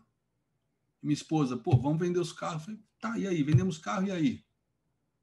que perco esse dia dos carros também. Como é que fica? Cara, não adianta. Não adianta agora eu injetar 100 mil na conta, né, isso naquela época, para tentar operar pesado. Começar de novo pequenininho. Tem 2.500 reais, é com 2.500 reais que eu vou trabalhar. Não adianta injetar 100 mil porque fiz um, tive um dia de fúria. Caguei. Né?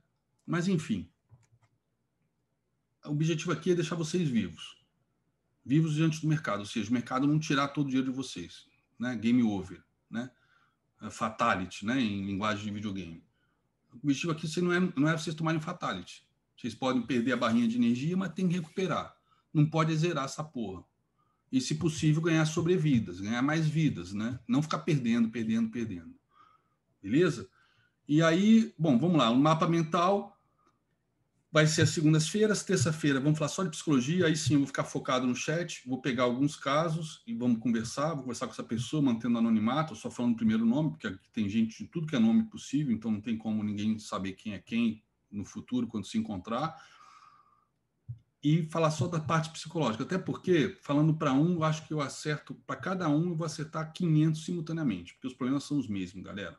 Quando alguém fala alguma coisa, eu já sei, já sei até onde a pessoa está errando depois de tanto tempo aqui nessa sala.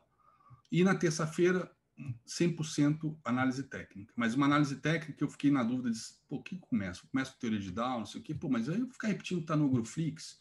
Estava meio sem ideia de como é que ia ser esse dia, mas o Hugo deu a ideia de eu pegar as maiores demandas de vocês do chat, aquelas perguntas que eu acho idiota de ser feita na hora, no meio do pregão, quando eu falo, pô, aqui tá dando uma reversão com piercing, piercing line e entrou volume. Cara, o que, que é piercing line? Bro, volta para as apostilas, volta para o Agrofix. Esquece. Tudo bem, vou tentar responder, mas isso me indigna na, na hora que eu, que eu falo, ó, estamos chegando no, chegamos no alvo de FIBO, fez um piercing line e entrou volume. Galera, aqui é um ponto que para mim é reversão. Cara, não entendi nada do que eu falei, falei grego. Pô, não é nessa hora que eu vou ficar explicando. Nessa hora eu quero operar, eu quero entrar no trade, eu quero orientar bem quem tá, já está na mesma página que eu, entendendo o que eu estou falando. Quem fala a mesma língua que eu, não entende o que eu estou falando, isso não é dúvida. Isso é preguiça. Isso é preguiça. Tá? Mas, mesmo assim, vamos pegar todos esses questionamentos e vamos revisar as quartas-feiras, todas as quartas, beleza?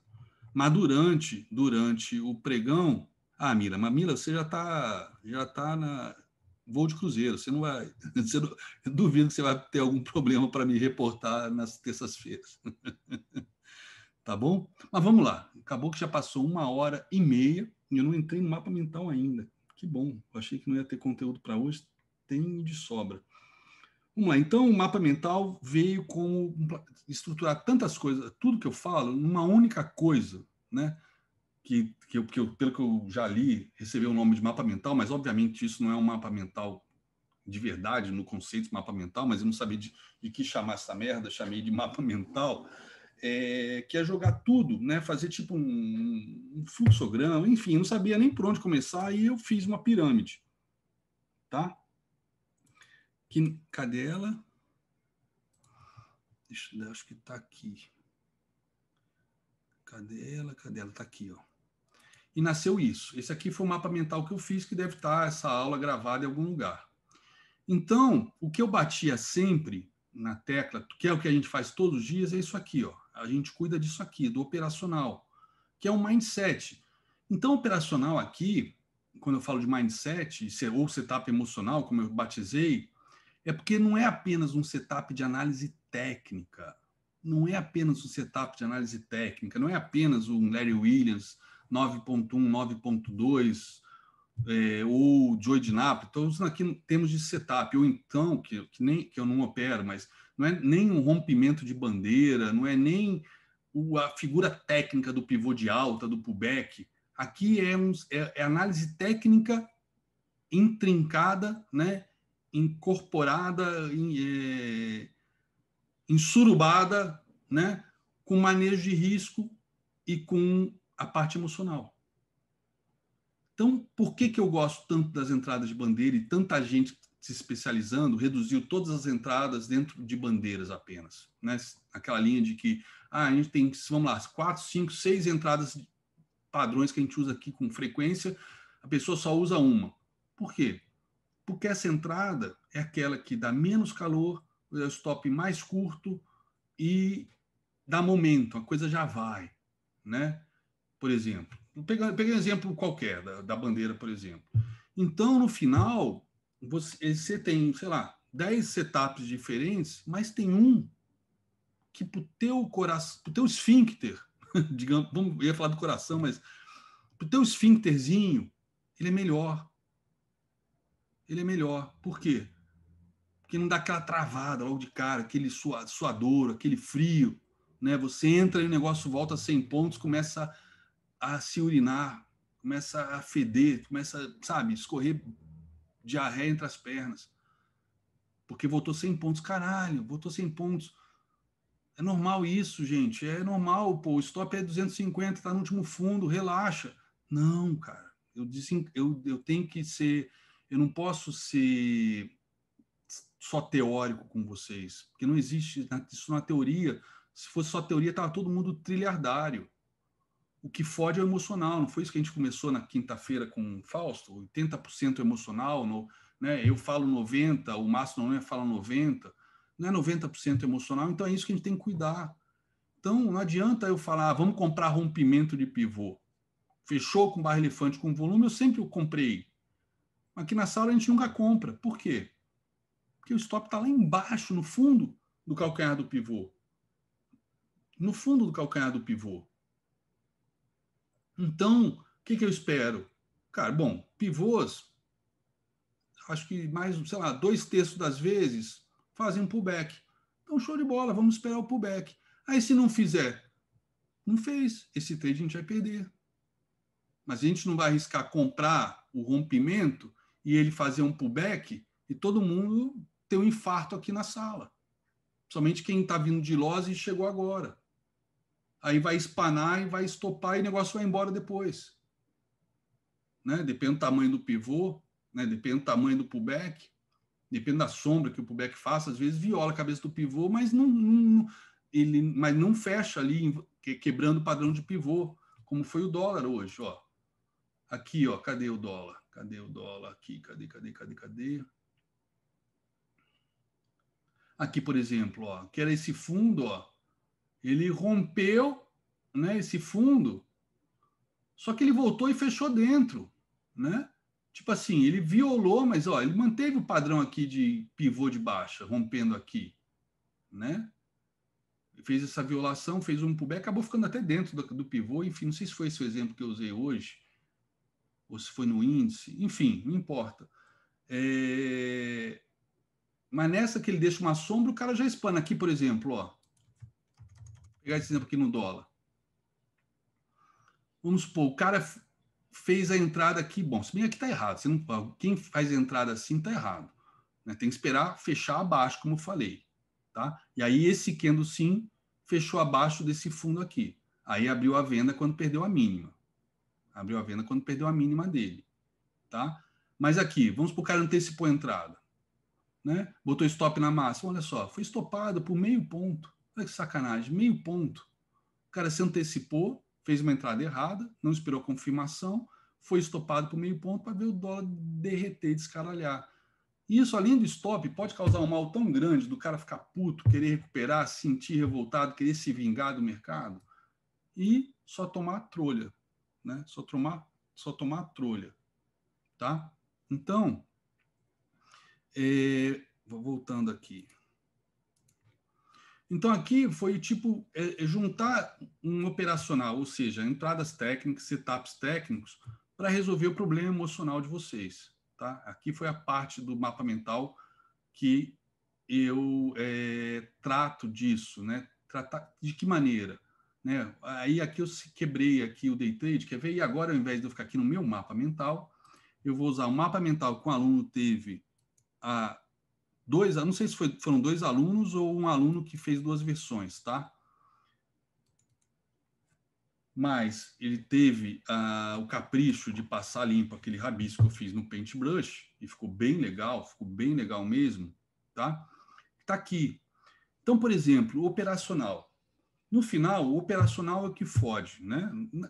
O operacional devia ser a parte mais burocrática de tudo, a, a menos importante. Mas é no, através do operacional que todo mundo quebra, fazendo merda. Então, aqui, o que, que eu separei aqui no mapa mental? O day trade no dia a dia. Bom, se seu mindset está cagado, você está perdendo dinheiro. Por quê? Por que você está perdendo dinheiro? Se a gente usa análise técnica e segue tendência, por que você está perdendo dinheiro? Se você entra na tendência de alta é para ganhar dinheiro se você está comprado, a menos que você esteja caçando o topo, né? Aí fudeu. Aí está fora do nosso trade system aqui da sala.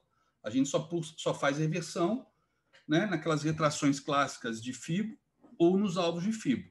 Fora isso, a gente não arrisca re, re, é, reversão em nenhum lugar. Então, é, é um, a gente opera a tendência como está em todos os meus livros aqui da estante. Todos os meus livros aqui da estante. Tá? Então, é, que todo mundo fala, a tendência é sua amiga, siga a tendência, etc. Então, é o que a gente faz aqui. Então, se você segue a tendência, né? se você armou um pivô de alto, o mercado está subindo, a média verde, a média está verde, né, virada para cima, os cantos são verdes, você está subindo, está subindo, a gente compra, está caindo, a gente vende, não é isso, Zé? me ensinou há quatro anos atrás? Então, está subindo, a gente compra, está caindo, a gente vende. É simples assim. E por que, que tanta gente quebra? Por conta do emocional, por conta do sizing, por conta do manejo de risco, por conta da entrada, por conta de não saber onde bota stop, e às vezes por conta de entradas erradas por vários, por, por, por medo, né? Então, o que, que eu, aqui eu me preocupei em fazer? Eliminar os erros. O objetivo agora não é acertar. Eliminar os erros. Porque quando eu vejo alguém comentando aqui que está com 11% só de acerto, é impossível isso. Ele erra propositalmente, inconscientemente, porque é impossível ter 11% de acerto. Mesmo que você opere no cara e coroa, é impossível. Você vai ter 50% de chance de estar tá, tá na mão certa, porra. O mercado sobe ou ele desce.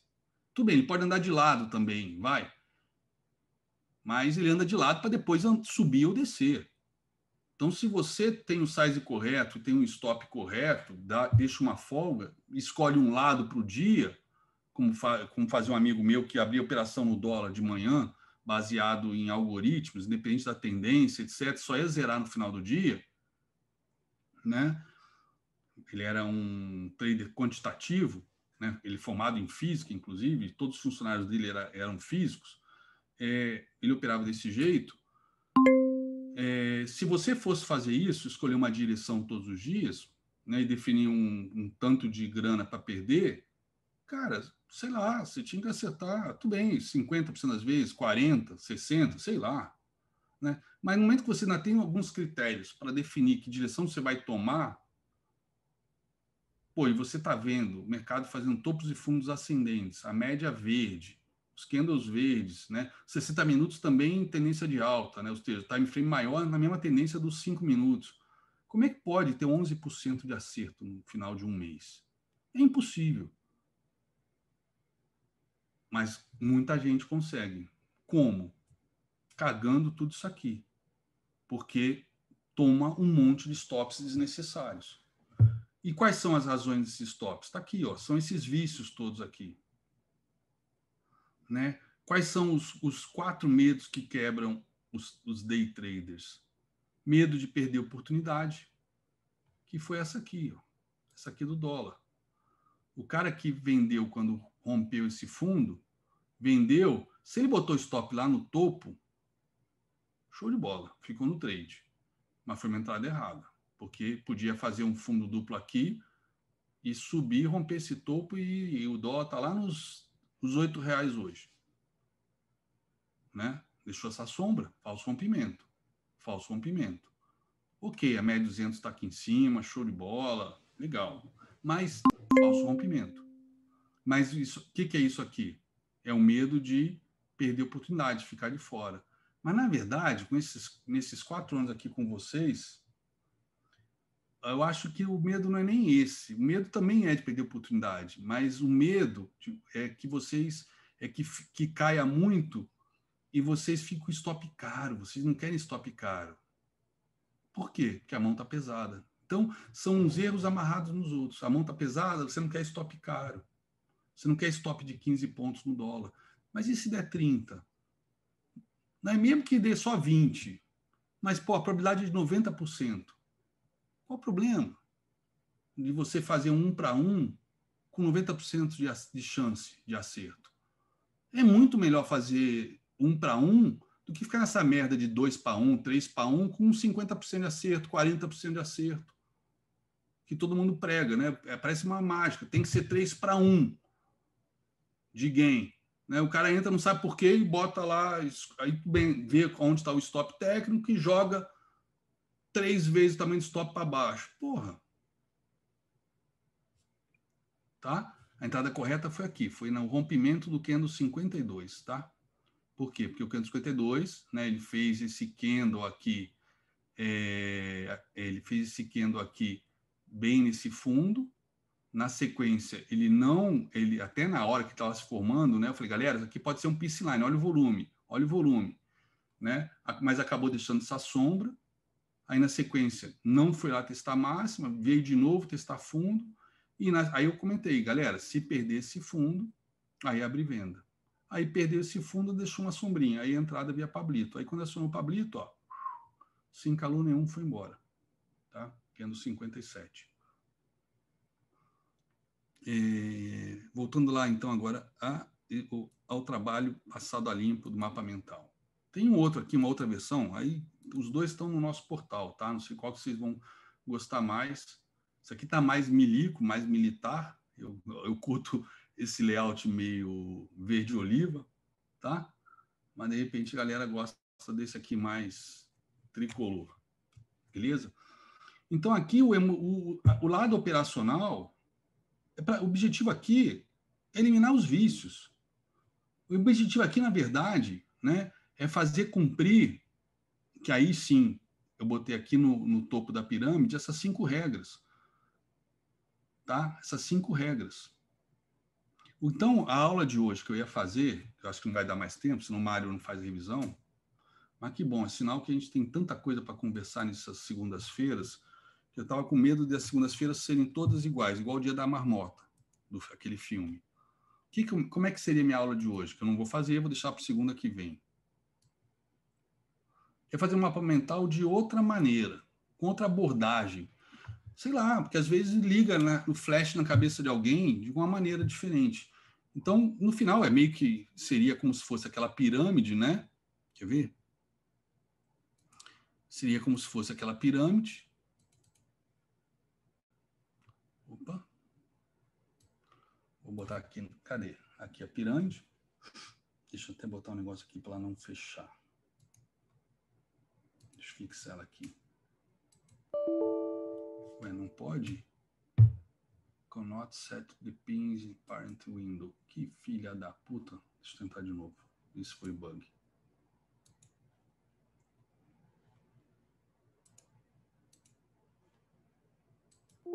Vai mesmo.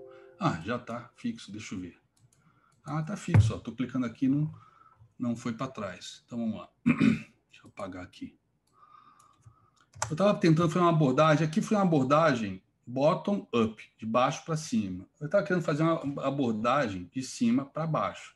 Mas antes, eu vou revisar esse mapa mental para quem nunca viu, tá? Na semana que vem.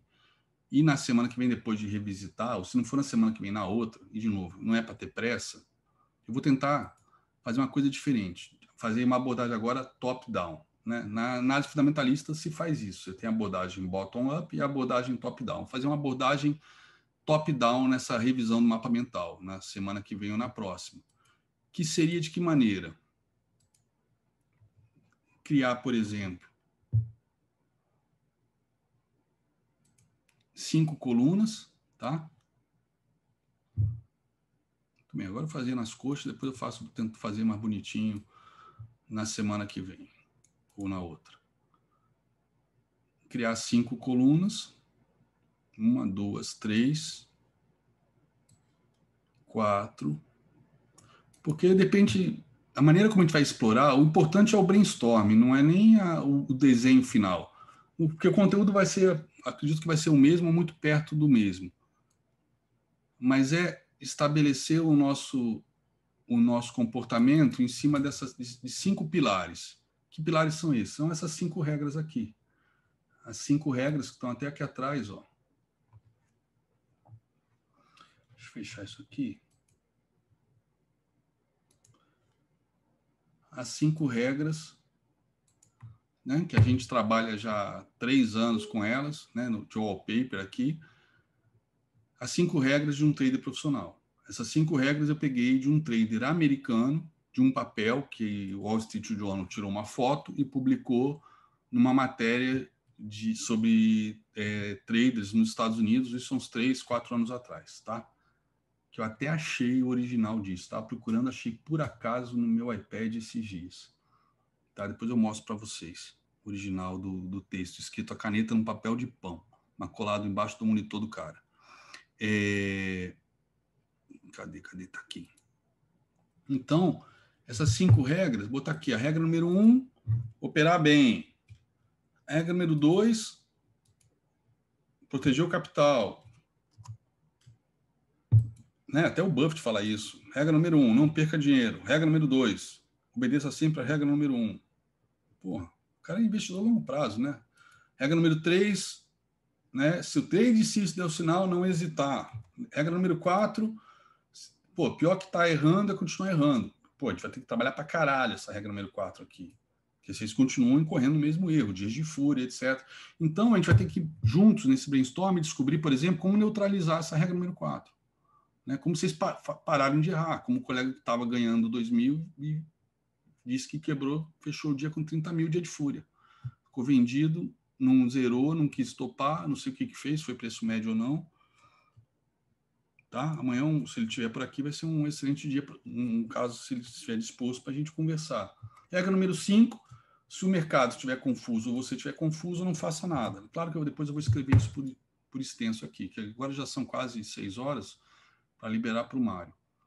E aqui, por exemplo, nessa questão de estar confuso, de ter dúvidas, tem vários, aqui tem várias abordagens, não é só o mercado estar confuso. Aqui a gente pode, nesse pilar, está aqui botar os filtros que a gente trabalha, né? Tipo, o que, que esse mercado está confuso?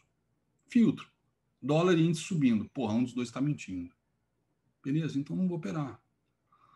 É, índice está subindo, mas SP está caindo. Beleza, não vou operar. Porra, siga o gráfico. É verdade, muitas vezes seguir o gráfico, ele está descolado. Mas, cara, 80, 85, 90% das vezes não está. Então, eu prefiro abrir mão desses 15% que pode estar descolado do que tentar ir contra a Matrix, meu. E a Matrix é o SP e o dólar. Por que, que eu vou contra? Na dúvida, se você opera os dois e o dólar e o índice estão subindo, pô, opera dólar então. Esquece o índice, opera dólar. Tá? Então, essa parte de aqui, a gente pode estabelecer alguns, alguns parâmetros, regras para serem seguidos, ou seja, a gente tem que decantar sair da subjetividade de uma regra, né? Tipo essa, do tipo, se o mercado você estiver confuso, siga a regra número dois. Lindo, para mim é lindo, já sei o que, que é. Mas para quem é que está perdidinho da Silva, tomando porrada de tudo que é lado, que já zerou a conta uma porrada de vezes, que não tem a mínima ideia de como essa merda funciona, que o cérebro está mais moído, mais destroçado que o próprio esfíncter dele, de tanta pica que já tomou. Tá, tá zoadaço, cara. O que, que é isso, tá confuso? Vamos, vamos, vamos aterrissar isso. O que, que é você estar confuso? Você estar confuso muitas vezes é falta de trade system, ou seja, de novo naquela linha do Mark Douglas. Pô, existem infinitas possibilidades no mercado todos os dias.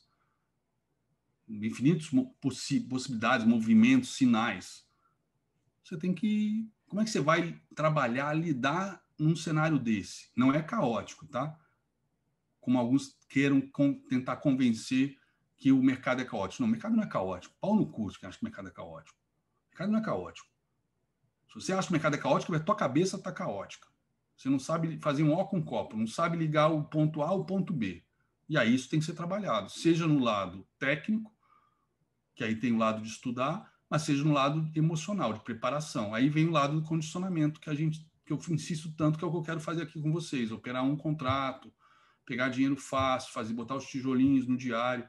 E uma coisa que eu não falei, que é mandatório nisso tudo aqui para isso funcionar, que a maioria não faz, é o diário de trade, né? Hoje eu até mencionei muito pouco.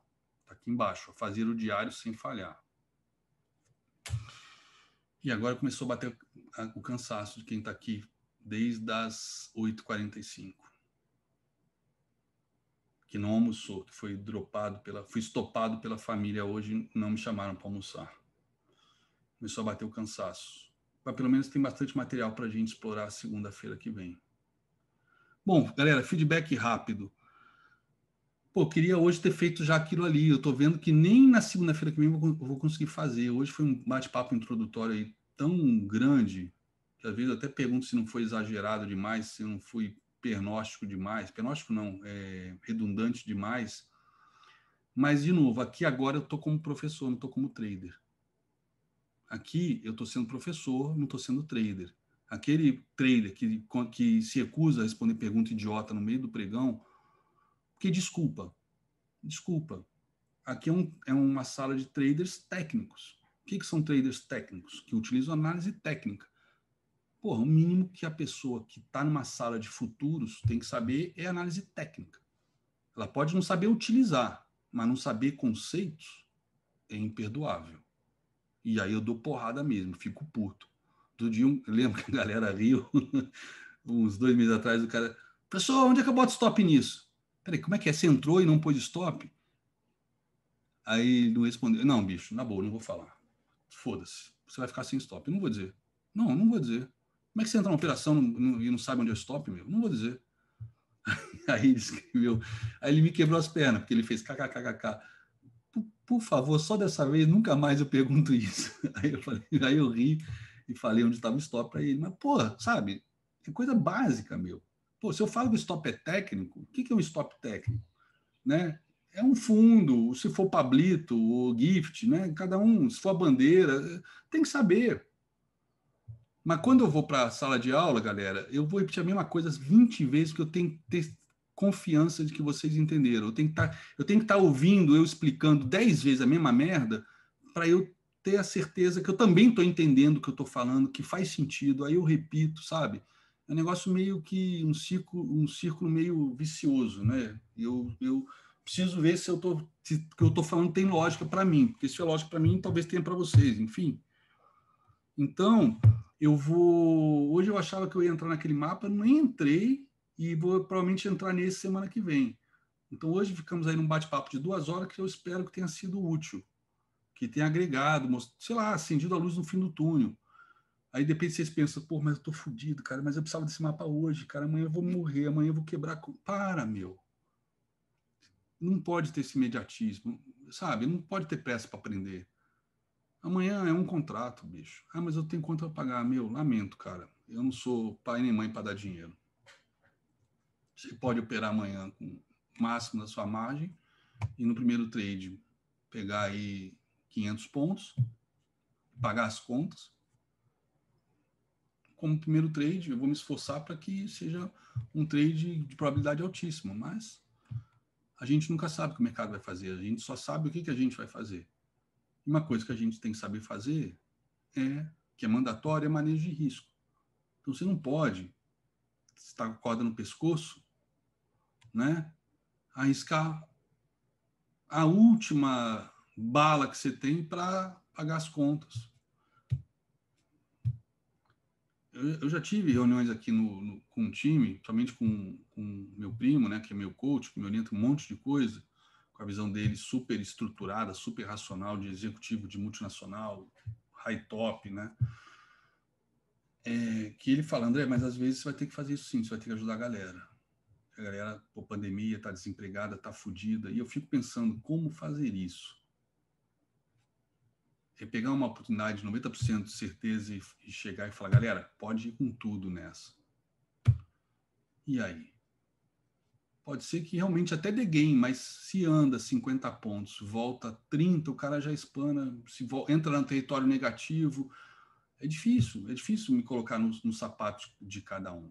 Eu não posso, eu não posso. E outra coisa, eu não posso assumir essa responsabilidade de ajudar a pagar a conta. Posso orientar da melhor maneira para operar com mais segurança, sei lá, e o próprio cara, na boa, eu vejo tanta gente com um contrato, com um contrato, que chega no final da primeira semana e já está com mil reais, ou seja, entrou com mil reais, no final da primeira semana já está com mil reais.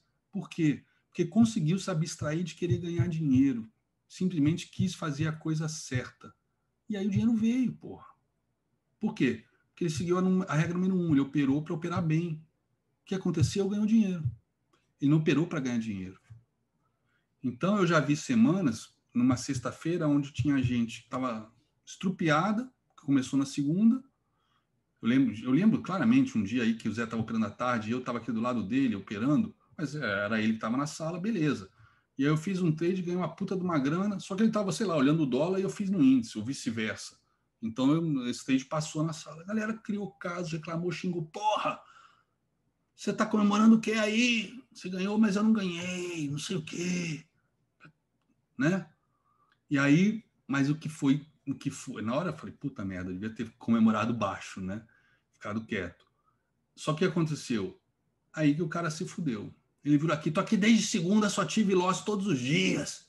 Ah, meu. Foi uma semana que a gente teve gain todos os dias. E aí um monte de gente, né, como o chat estava aberto, falou, não, mas aí, eu também entrei na segunda-feira e estou tendo game todos os dias. Pronto.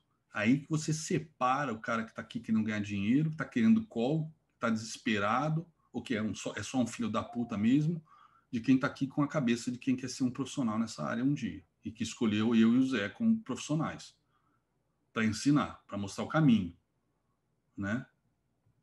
Então, é, eu acho que mesmo quem está desesperado, a melhor maneira de eu ajudar não é tentando, como até o Caco me sugeriu, pô, mas você tem que ajudar essa galera a ganhar uma grana. Pô, eu vou ajudar, eu vou ajudar como hoje eu ajudei.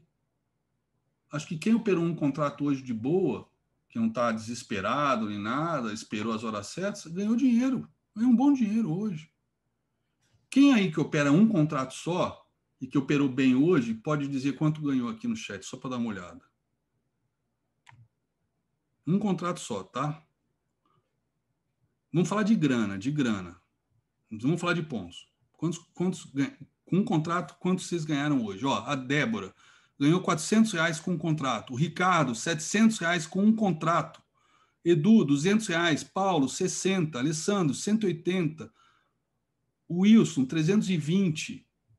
Hugo, 250. 380. Tá passando muito rápido. 680. 500. 215.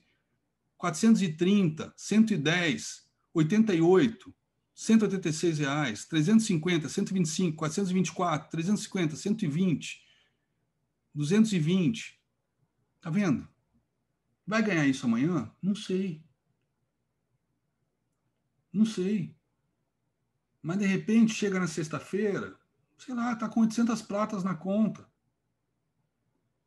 Sei lá, 800 pratas pô, tá devendo escola das crianças, chega lá para, sabe, fala, olha, eu devo, não nego, tenho 400 reais para dizer que estou disposto a pagar, mas agora é o que eu consigo. Cara, tá todo mundo vivendo num, numa época de pandemia, tá todo mundo querendo negociar, não é só você que pode estar tá devendo dinheiro, que está desempregado. Né? Ah, tô devendo dinheiro na, na mercearia, porra, tô sem crédito. Vai lá e quita e fala, porra, eu quito, mas eu preciso de crédito, eu tô começando.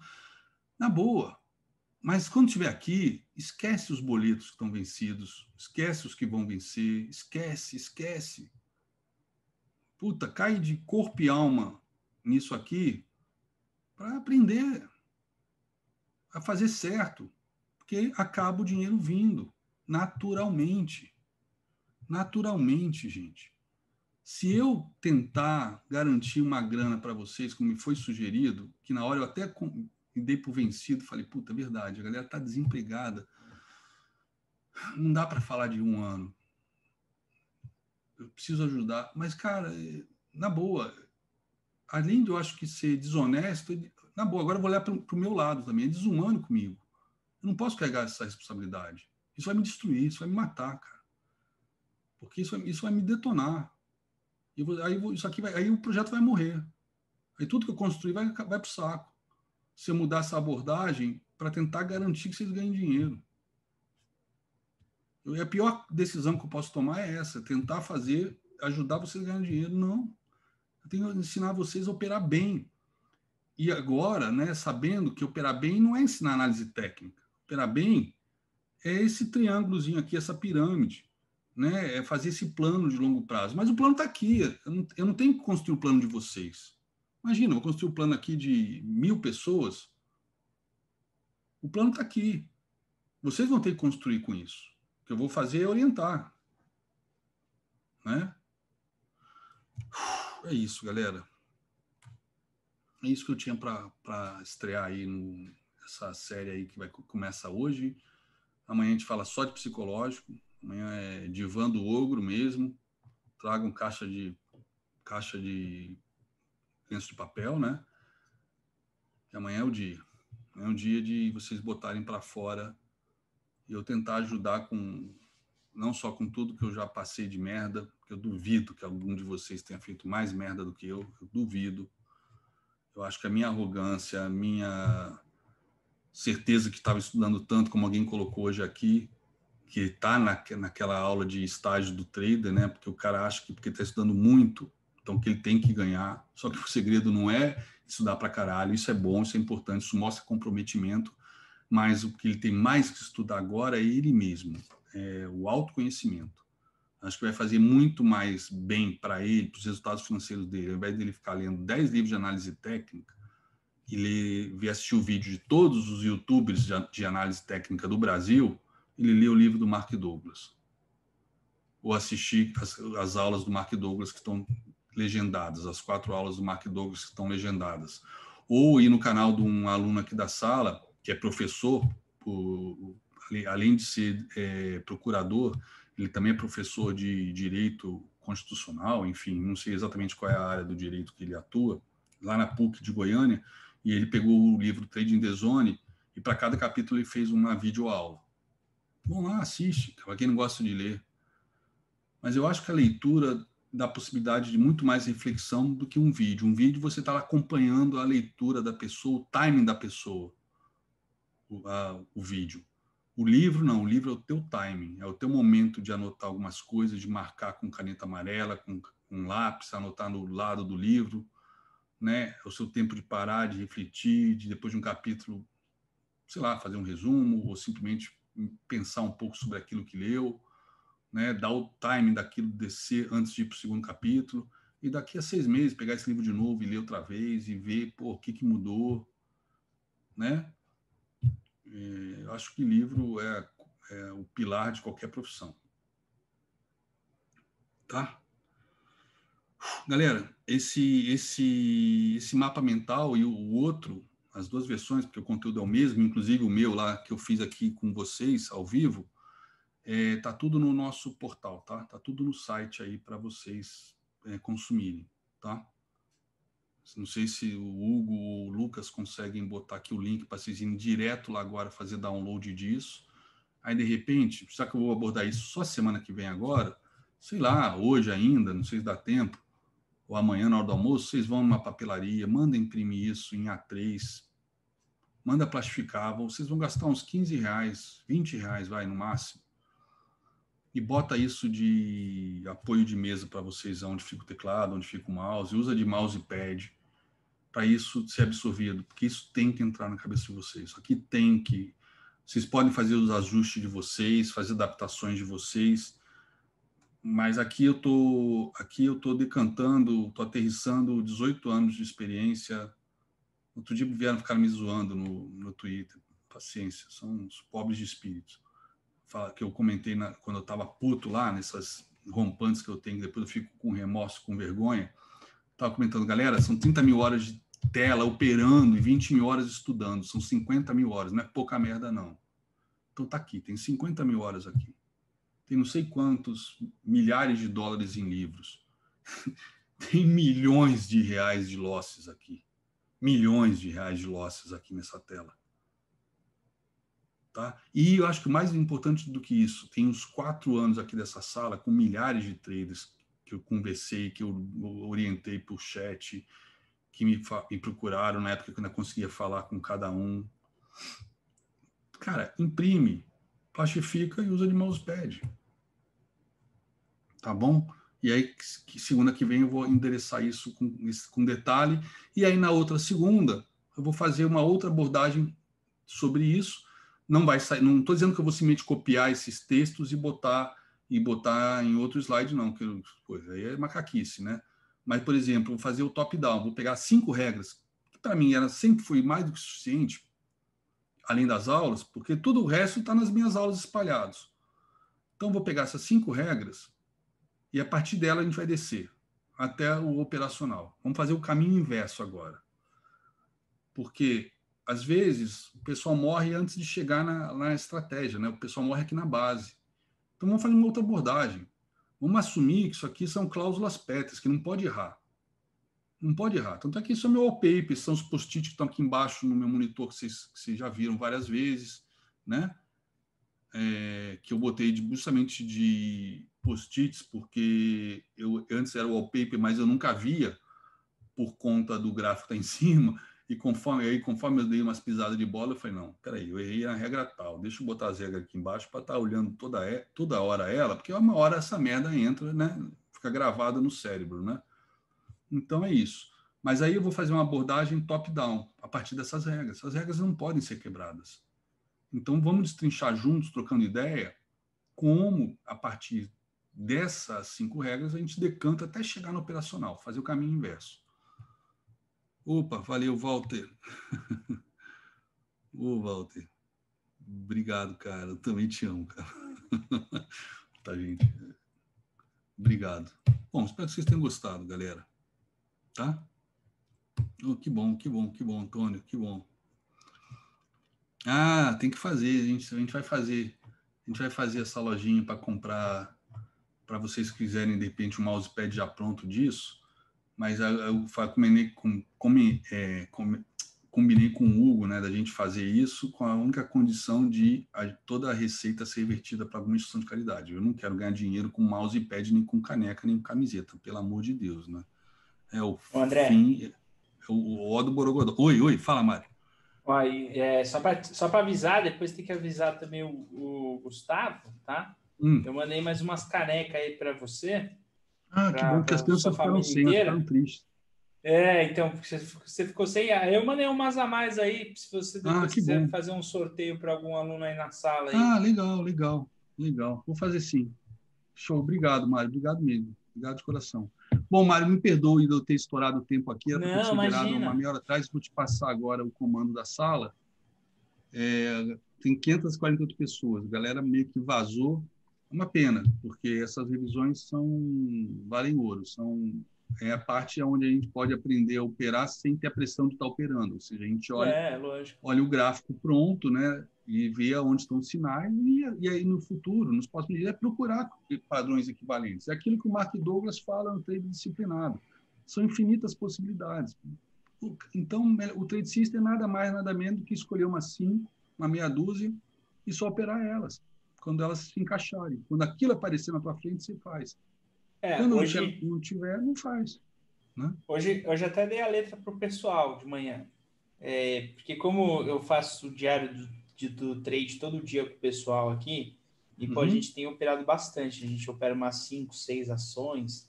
Depois eu venho, faço a revisão do índice do dólar. Então eu estou vendo, estou mapeando. Eu falei, pessoal, pessoal, aonde está a bola aí, é no breakout, é power breakout. E a gente está alertando né, o pessoal. Hum. Dá uma pausa naquele pivô do primeiro movimento, fica de olho no breakout. É o momento atual. Daqui a pouco muda, daqui a pouco é outro movimento que vai estar em alta. É, uma das coisas que eu acho que hoje foi bem legal, bem produtivo de manhã, que a gente foquei bastante em fazer uma leitura do mercado. Né? E, e, entre, e uma leitura integrado os, os time frames e também integrado com os intermarket análise, o intermarket análise de, de DI, índice, dólar, SP, né? É, essa leitura justamente para você saber se situar o que está acontecendo, né? Porque é uma é uma é uma é uma engrenagem presa na outra. Girou aqui para a esquerda o dólar, o índice gira para a direita porque tá, né? Se girou aqui, o outro gira para lá, né? Esse gira para lá vai girar um outro aqui embaixo.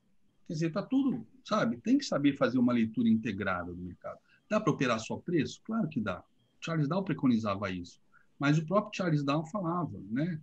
De outras coisas também, de que um índice tem que ser confirmado pelo outro, por conta de divergências, etc. Então, Existe. A gente aqui, em vez de confirmar, a gente confirma um índice com SP500. Lá era o Dow Jones Industrial com transportes. Aqui é com o próprio SP500. E aí tem as correlações inversas. São os quatro mercados que são bem endereçados, super bem endereçados no livro do John Murphy, de Intermarket Analysis. São os quatro mercados financeiros, que o, que o terceiro capítulo do Martin Pung ele também endereça isso. Bonds, ou seja, juros, né? juros, DI, né? juros DI, é, juros DI, no caso, é bonds, moedas, equity, que é o nosso índice, e commodities, que não entra muito, no, muito aqui no nosso caso. Mas, por exemplo, a Clarice, que opera é, só petróleo, ela veio para a sala para acompanhar o SP500, cara, por causa de correlação de petróleo com o SP500. Então, as commodities também estão amarradas com, com os outros três mercados, né? Dólar com petróleo. Então, a gente tem que ter uma leitura sistêmica. Ah, tá, isso é para complicar. Não, não é para complicar. É para evitar tomar stop. São filtros, são proteções. O objetivo aqui é ser profissional, sabe? Eu sei que dá para operar só pelo preço, o índice, só pelo preço do dólar. Mas o objetivo aqui é não tomar stop. Não é ganhar, é não tomar stop. E conforme a gente tem essa visão integrada, é menos stops que a gente toma. Só que tem um custo, que nem todo mundo está disposto a pagar ou tem emocional para pagar, que é perder muita oportunidade. O dia que vocês conseguirem abrir mão de mil pontos porque não estava clara a entrada, vocês estão preparados para ganhar mil pontos quando a entrada estiver clara. Agora, fazer entrada atrasada, fazer né, macaquice aqui no gráfico, né, porque tá, quer porque quer ganhar, quer porque quer ver operação quando não tem, esquece, meu. Você até algumas vezes vai pegar uns trades legais, mas é aquilo que eu chamo é. de entrada merda. Entrada merda também dá game. Só que entrada, não, ninguém vai ser trader profissional fazendo, fazendo merda, né? o que eu observo muito do pessoal é que é assim, por exemplo, é, no índice futuro, assim, acompanhando o mercado, até acontece, mas é até menos. Agora, em ação, por exemplo, acontece assim, tipo, hoje de manhã é um exemplo, tá?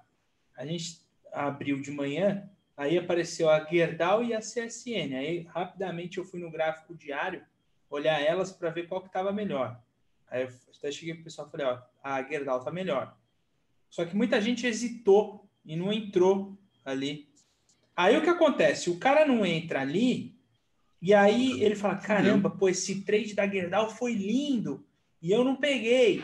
Então agora eu vou no outro trade que ele for falar. Aí o outro trade que apareceu foi da Duratex.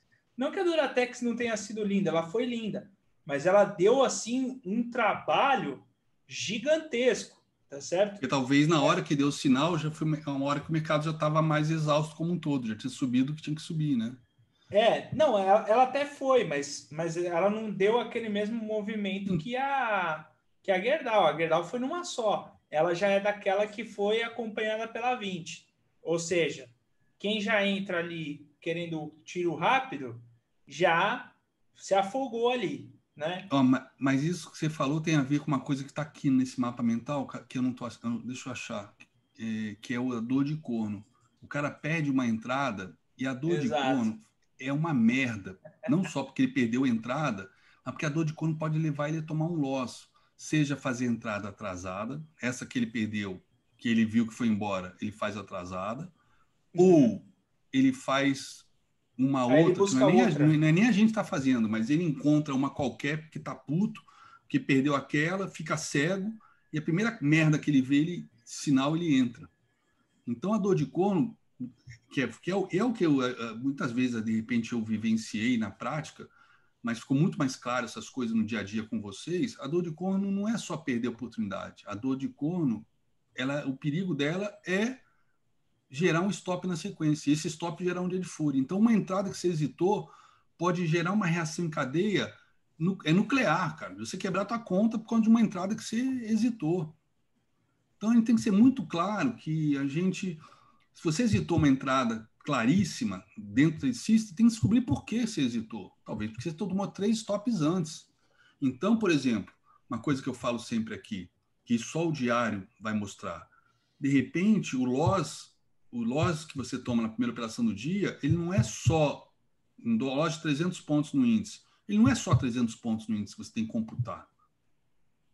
É 300 pontos que você tem que computar de loss e mais, de repente, 800 pontos de gain que você não entrou porque hesitou. Por quê? Uhum, uhum. Porque já tinha tomado um murro no meio da cara, logo às nove e meia da manhã. Né? E como é. dizia Mike Tyson, todo mundo tem um plano até tomar um soco no meio da cara. Então, o, o Bernardinho, na palestra do fechamento da modal, ele falou isso. Ele falou essa frase do Mike Tyson, mas ele depois ele continuou e falou uma coisa que eu achei do caralho. E por que, que você toma um soco no meio da cara? Porque baixou a guarda. Só tem uma única maneira de a gente tomar um soco no meio da cara, é baixando a guarda. Então a gente não pode abaixar a guarda nunca. Não pode baixar a guarda nunca.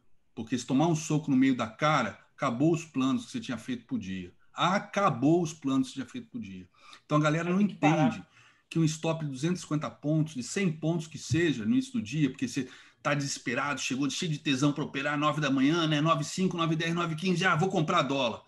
Né? E toma um stop de 15 pontos no dólar, fudeu o teu dia, fudeu o teu emocional. Quando você tiver profissional, tiver tarimbado, você pode tomar, como você já viu, tomando três stops seguidos e entrar na quarta operação sem problema nenhum, e a quarta operação pagar os três stops e ainda sair rindo, rindo feliz e contente da sala. Agora, para quem está começando, meu, um stop pode ser, sabe, 300 pontos de loss pode no final ser a perda de uma oportunidade de 800 pontos. Então, no final, isso aí te custou 1.100 pontos. Por quê? Por ansiedade. Por ansiedade. Então, dor de corno, se é uma operação que não está no seu trade system, não é para ter dor de corno. Ah, mas eu vi que ia subir. Foda-se. O segredo disso é disciplina. O trade de agora é irrelevante para você, mas é o que pode te destruir. O que vai te fazer ser trader profissional é a soma de todos os traders, todos os trades, todos os trades que você fizer. Vai fazer ser profissional é a soma de 100 trades, 500 trades. Se você chegar ao, ao 50 centésimo trade, é, não sei nem como é que é o original dessa merda. O centésimo, é, cinco centésimo, centésimo, sei lá, trade. Isso vai fazer você um profissional, não o trade de agora. Só que todo mundo vive cada trade como se fosse aquele de matar ou morrer. Morre. Se tratar cada trade como se fosse matar ou morrer, morre. Pode até matar alguns, mas uma hora vai morrer. Então a coisa tem que ser mais suave, tem que ser mais, sabe, estruturada. Tem que ter o trade tem que seguir. Se não seguir, bicho, esquece. Vai ficar se lamentando aí no chat que chorou, que tá com 11% de acerto só, que quebrou, que, sabe, dia de fuga. É, isso é difícil. Sabe que tinha até um exercício que a gente era obrigado a fazer lá na mentoria com o Oliver durante um, alguns meses, né? Todo mundo quer fazer a mentoria, ele designava um exercício. E um dos exercícios era o seguinte: olha, quero testar aí é, o quanto você é ansioso. Então, o mercado abriu, para onde você acha que o mercado vai? Pela, pelo seu modelo de análise técnica que você está vendo o gráfico com base no dia anterior, Vai para cima ou vai para baixo? Ah, eu acho que vai para cima. Então, entra com um lote de ação e você só vai vender ele às 5 da tarde no fechamento. Esse aí é punk, porque... Porra, é foda, hein? Eu esse... não isso não, Mas assim... Pô, mas é um depende. exercício um lote, É um lotezinho leve, é tranquilo. É, ela tinha um leve, um, sem, sem ações, por exemplo, pô, você pega aí, sei lá, sim, sim, tipo sim. a Gerdau, daria 70, 80 reais. Mas, mas é uma questão de ansiedade, né? Para quem está começando, pô, é, é um exercício. É, é igual aquele, aquela brincadeira que o pessoal faz, né? Você quer ser trader? Ah, eu quero, eu quero, eu quero ser trader. Então pega uma nota de 100 e queima ela. Pô, tá louco, não consigo. Então você não pode ser trader. Claro que isso aí é, um, é uma brincadeira, isso, até, isso seria até um crime federal, mas quem consegue queimar uma nota de 100? Ninguém consegue, né? Nossa, você falou é um, milhares é um crime... de reais aqui. Fácil, você falou né? que é um crime federal, então imagina, a gente quando queima a grana aí no day trade, a gente já era para estar preso. Era prisão, é, não, aqui é prisão perpétua, né? Bom, galera, deixa eu deixar o Mário falar. Não sei se vai, você vai fazer revisão ainda, Mário? Vou, vou, rapidamente Beleza. aqui eu vou sim. Galera, desculpa Mas aí segurar vocês. Acho que o papo foi bem legal. Sabem. Bem legal. Começamos aí outubro. Eu estou começando agora o meu mês de outubro, né? Por causa do braço quebrado. Eu, semana passada, quinta e sexta. Sexta eu nem apareci, quinta eu só fiz uma unicol vazei. Tava com muita dor no braço. O braço estava estrangulado aí pelo gesso. Tive que trocar o gesso. Uma dor de cabeça, talvez até acho que foi por causa do gesso, porque uma semana com dor de cabeça só passou depois que eu troquei. Então, deve ter sido alguma pressão alguma artéria, sei lá. Mas acho que estamos começando outubro aí com o pé direito. Não só amanhã foi espetacular em termos de, resultados. E não, é, não foi um dia fácil, tá? Mas a gente conseguiu fazer uma leitura legal juntos.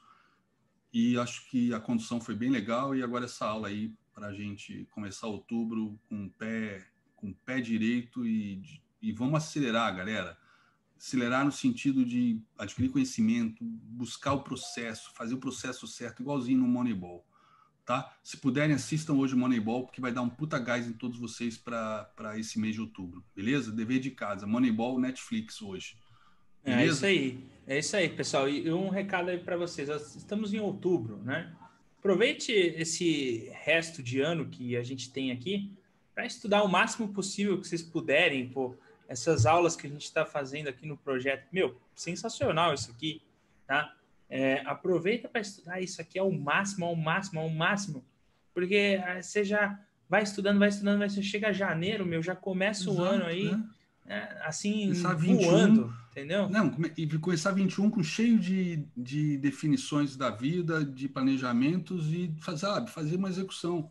Mas não é também para deixar para fazer tudo certo só em janeiro, mas já estamos na reta final do ano. Pô, vamos se preparar para 2021 ser o melhor ano de nossas vidas, como traders, como pessoas, como pais, mães, maridos. Vamos, a coisa tem que fluir bem. A gente não pode fazer dessa merda aqui nosso motivo de morte, cara. Isso aqui é, isso é, nosso, é, é, nossa, é nosso sustento, é motivo de vida, não é, não é motivo de morte. Sabe, a gente ir para final de semana, sexta, aos sábados, é, sexta-feira, com raiva, com ódio do mercado, querendo se vingar, aí briga com a esposa, chuta o cachorro, briga com as crianças, aí não quer brincar com as crianças, não quer fazer nada, porque quer só estudar, quer ver onde está, ficar assistindo vídeo para ver se sabe onde está o erro. O erro não está no vídeo, o erro está no processo, o erro está no diário. Então tem que fazer isso todo dia. O vídeo não vai, o, os erros não vão aparecer no YouTube. Esquece, esquece. O erro está dentro de vocês. Beleza? É isso aí, galera. Fiquem com Deus. Uma excelente final de segunda-feira para todos. Boa revisão aí.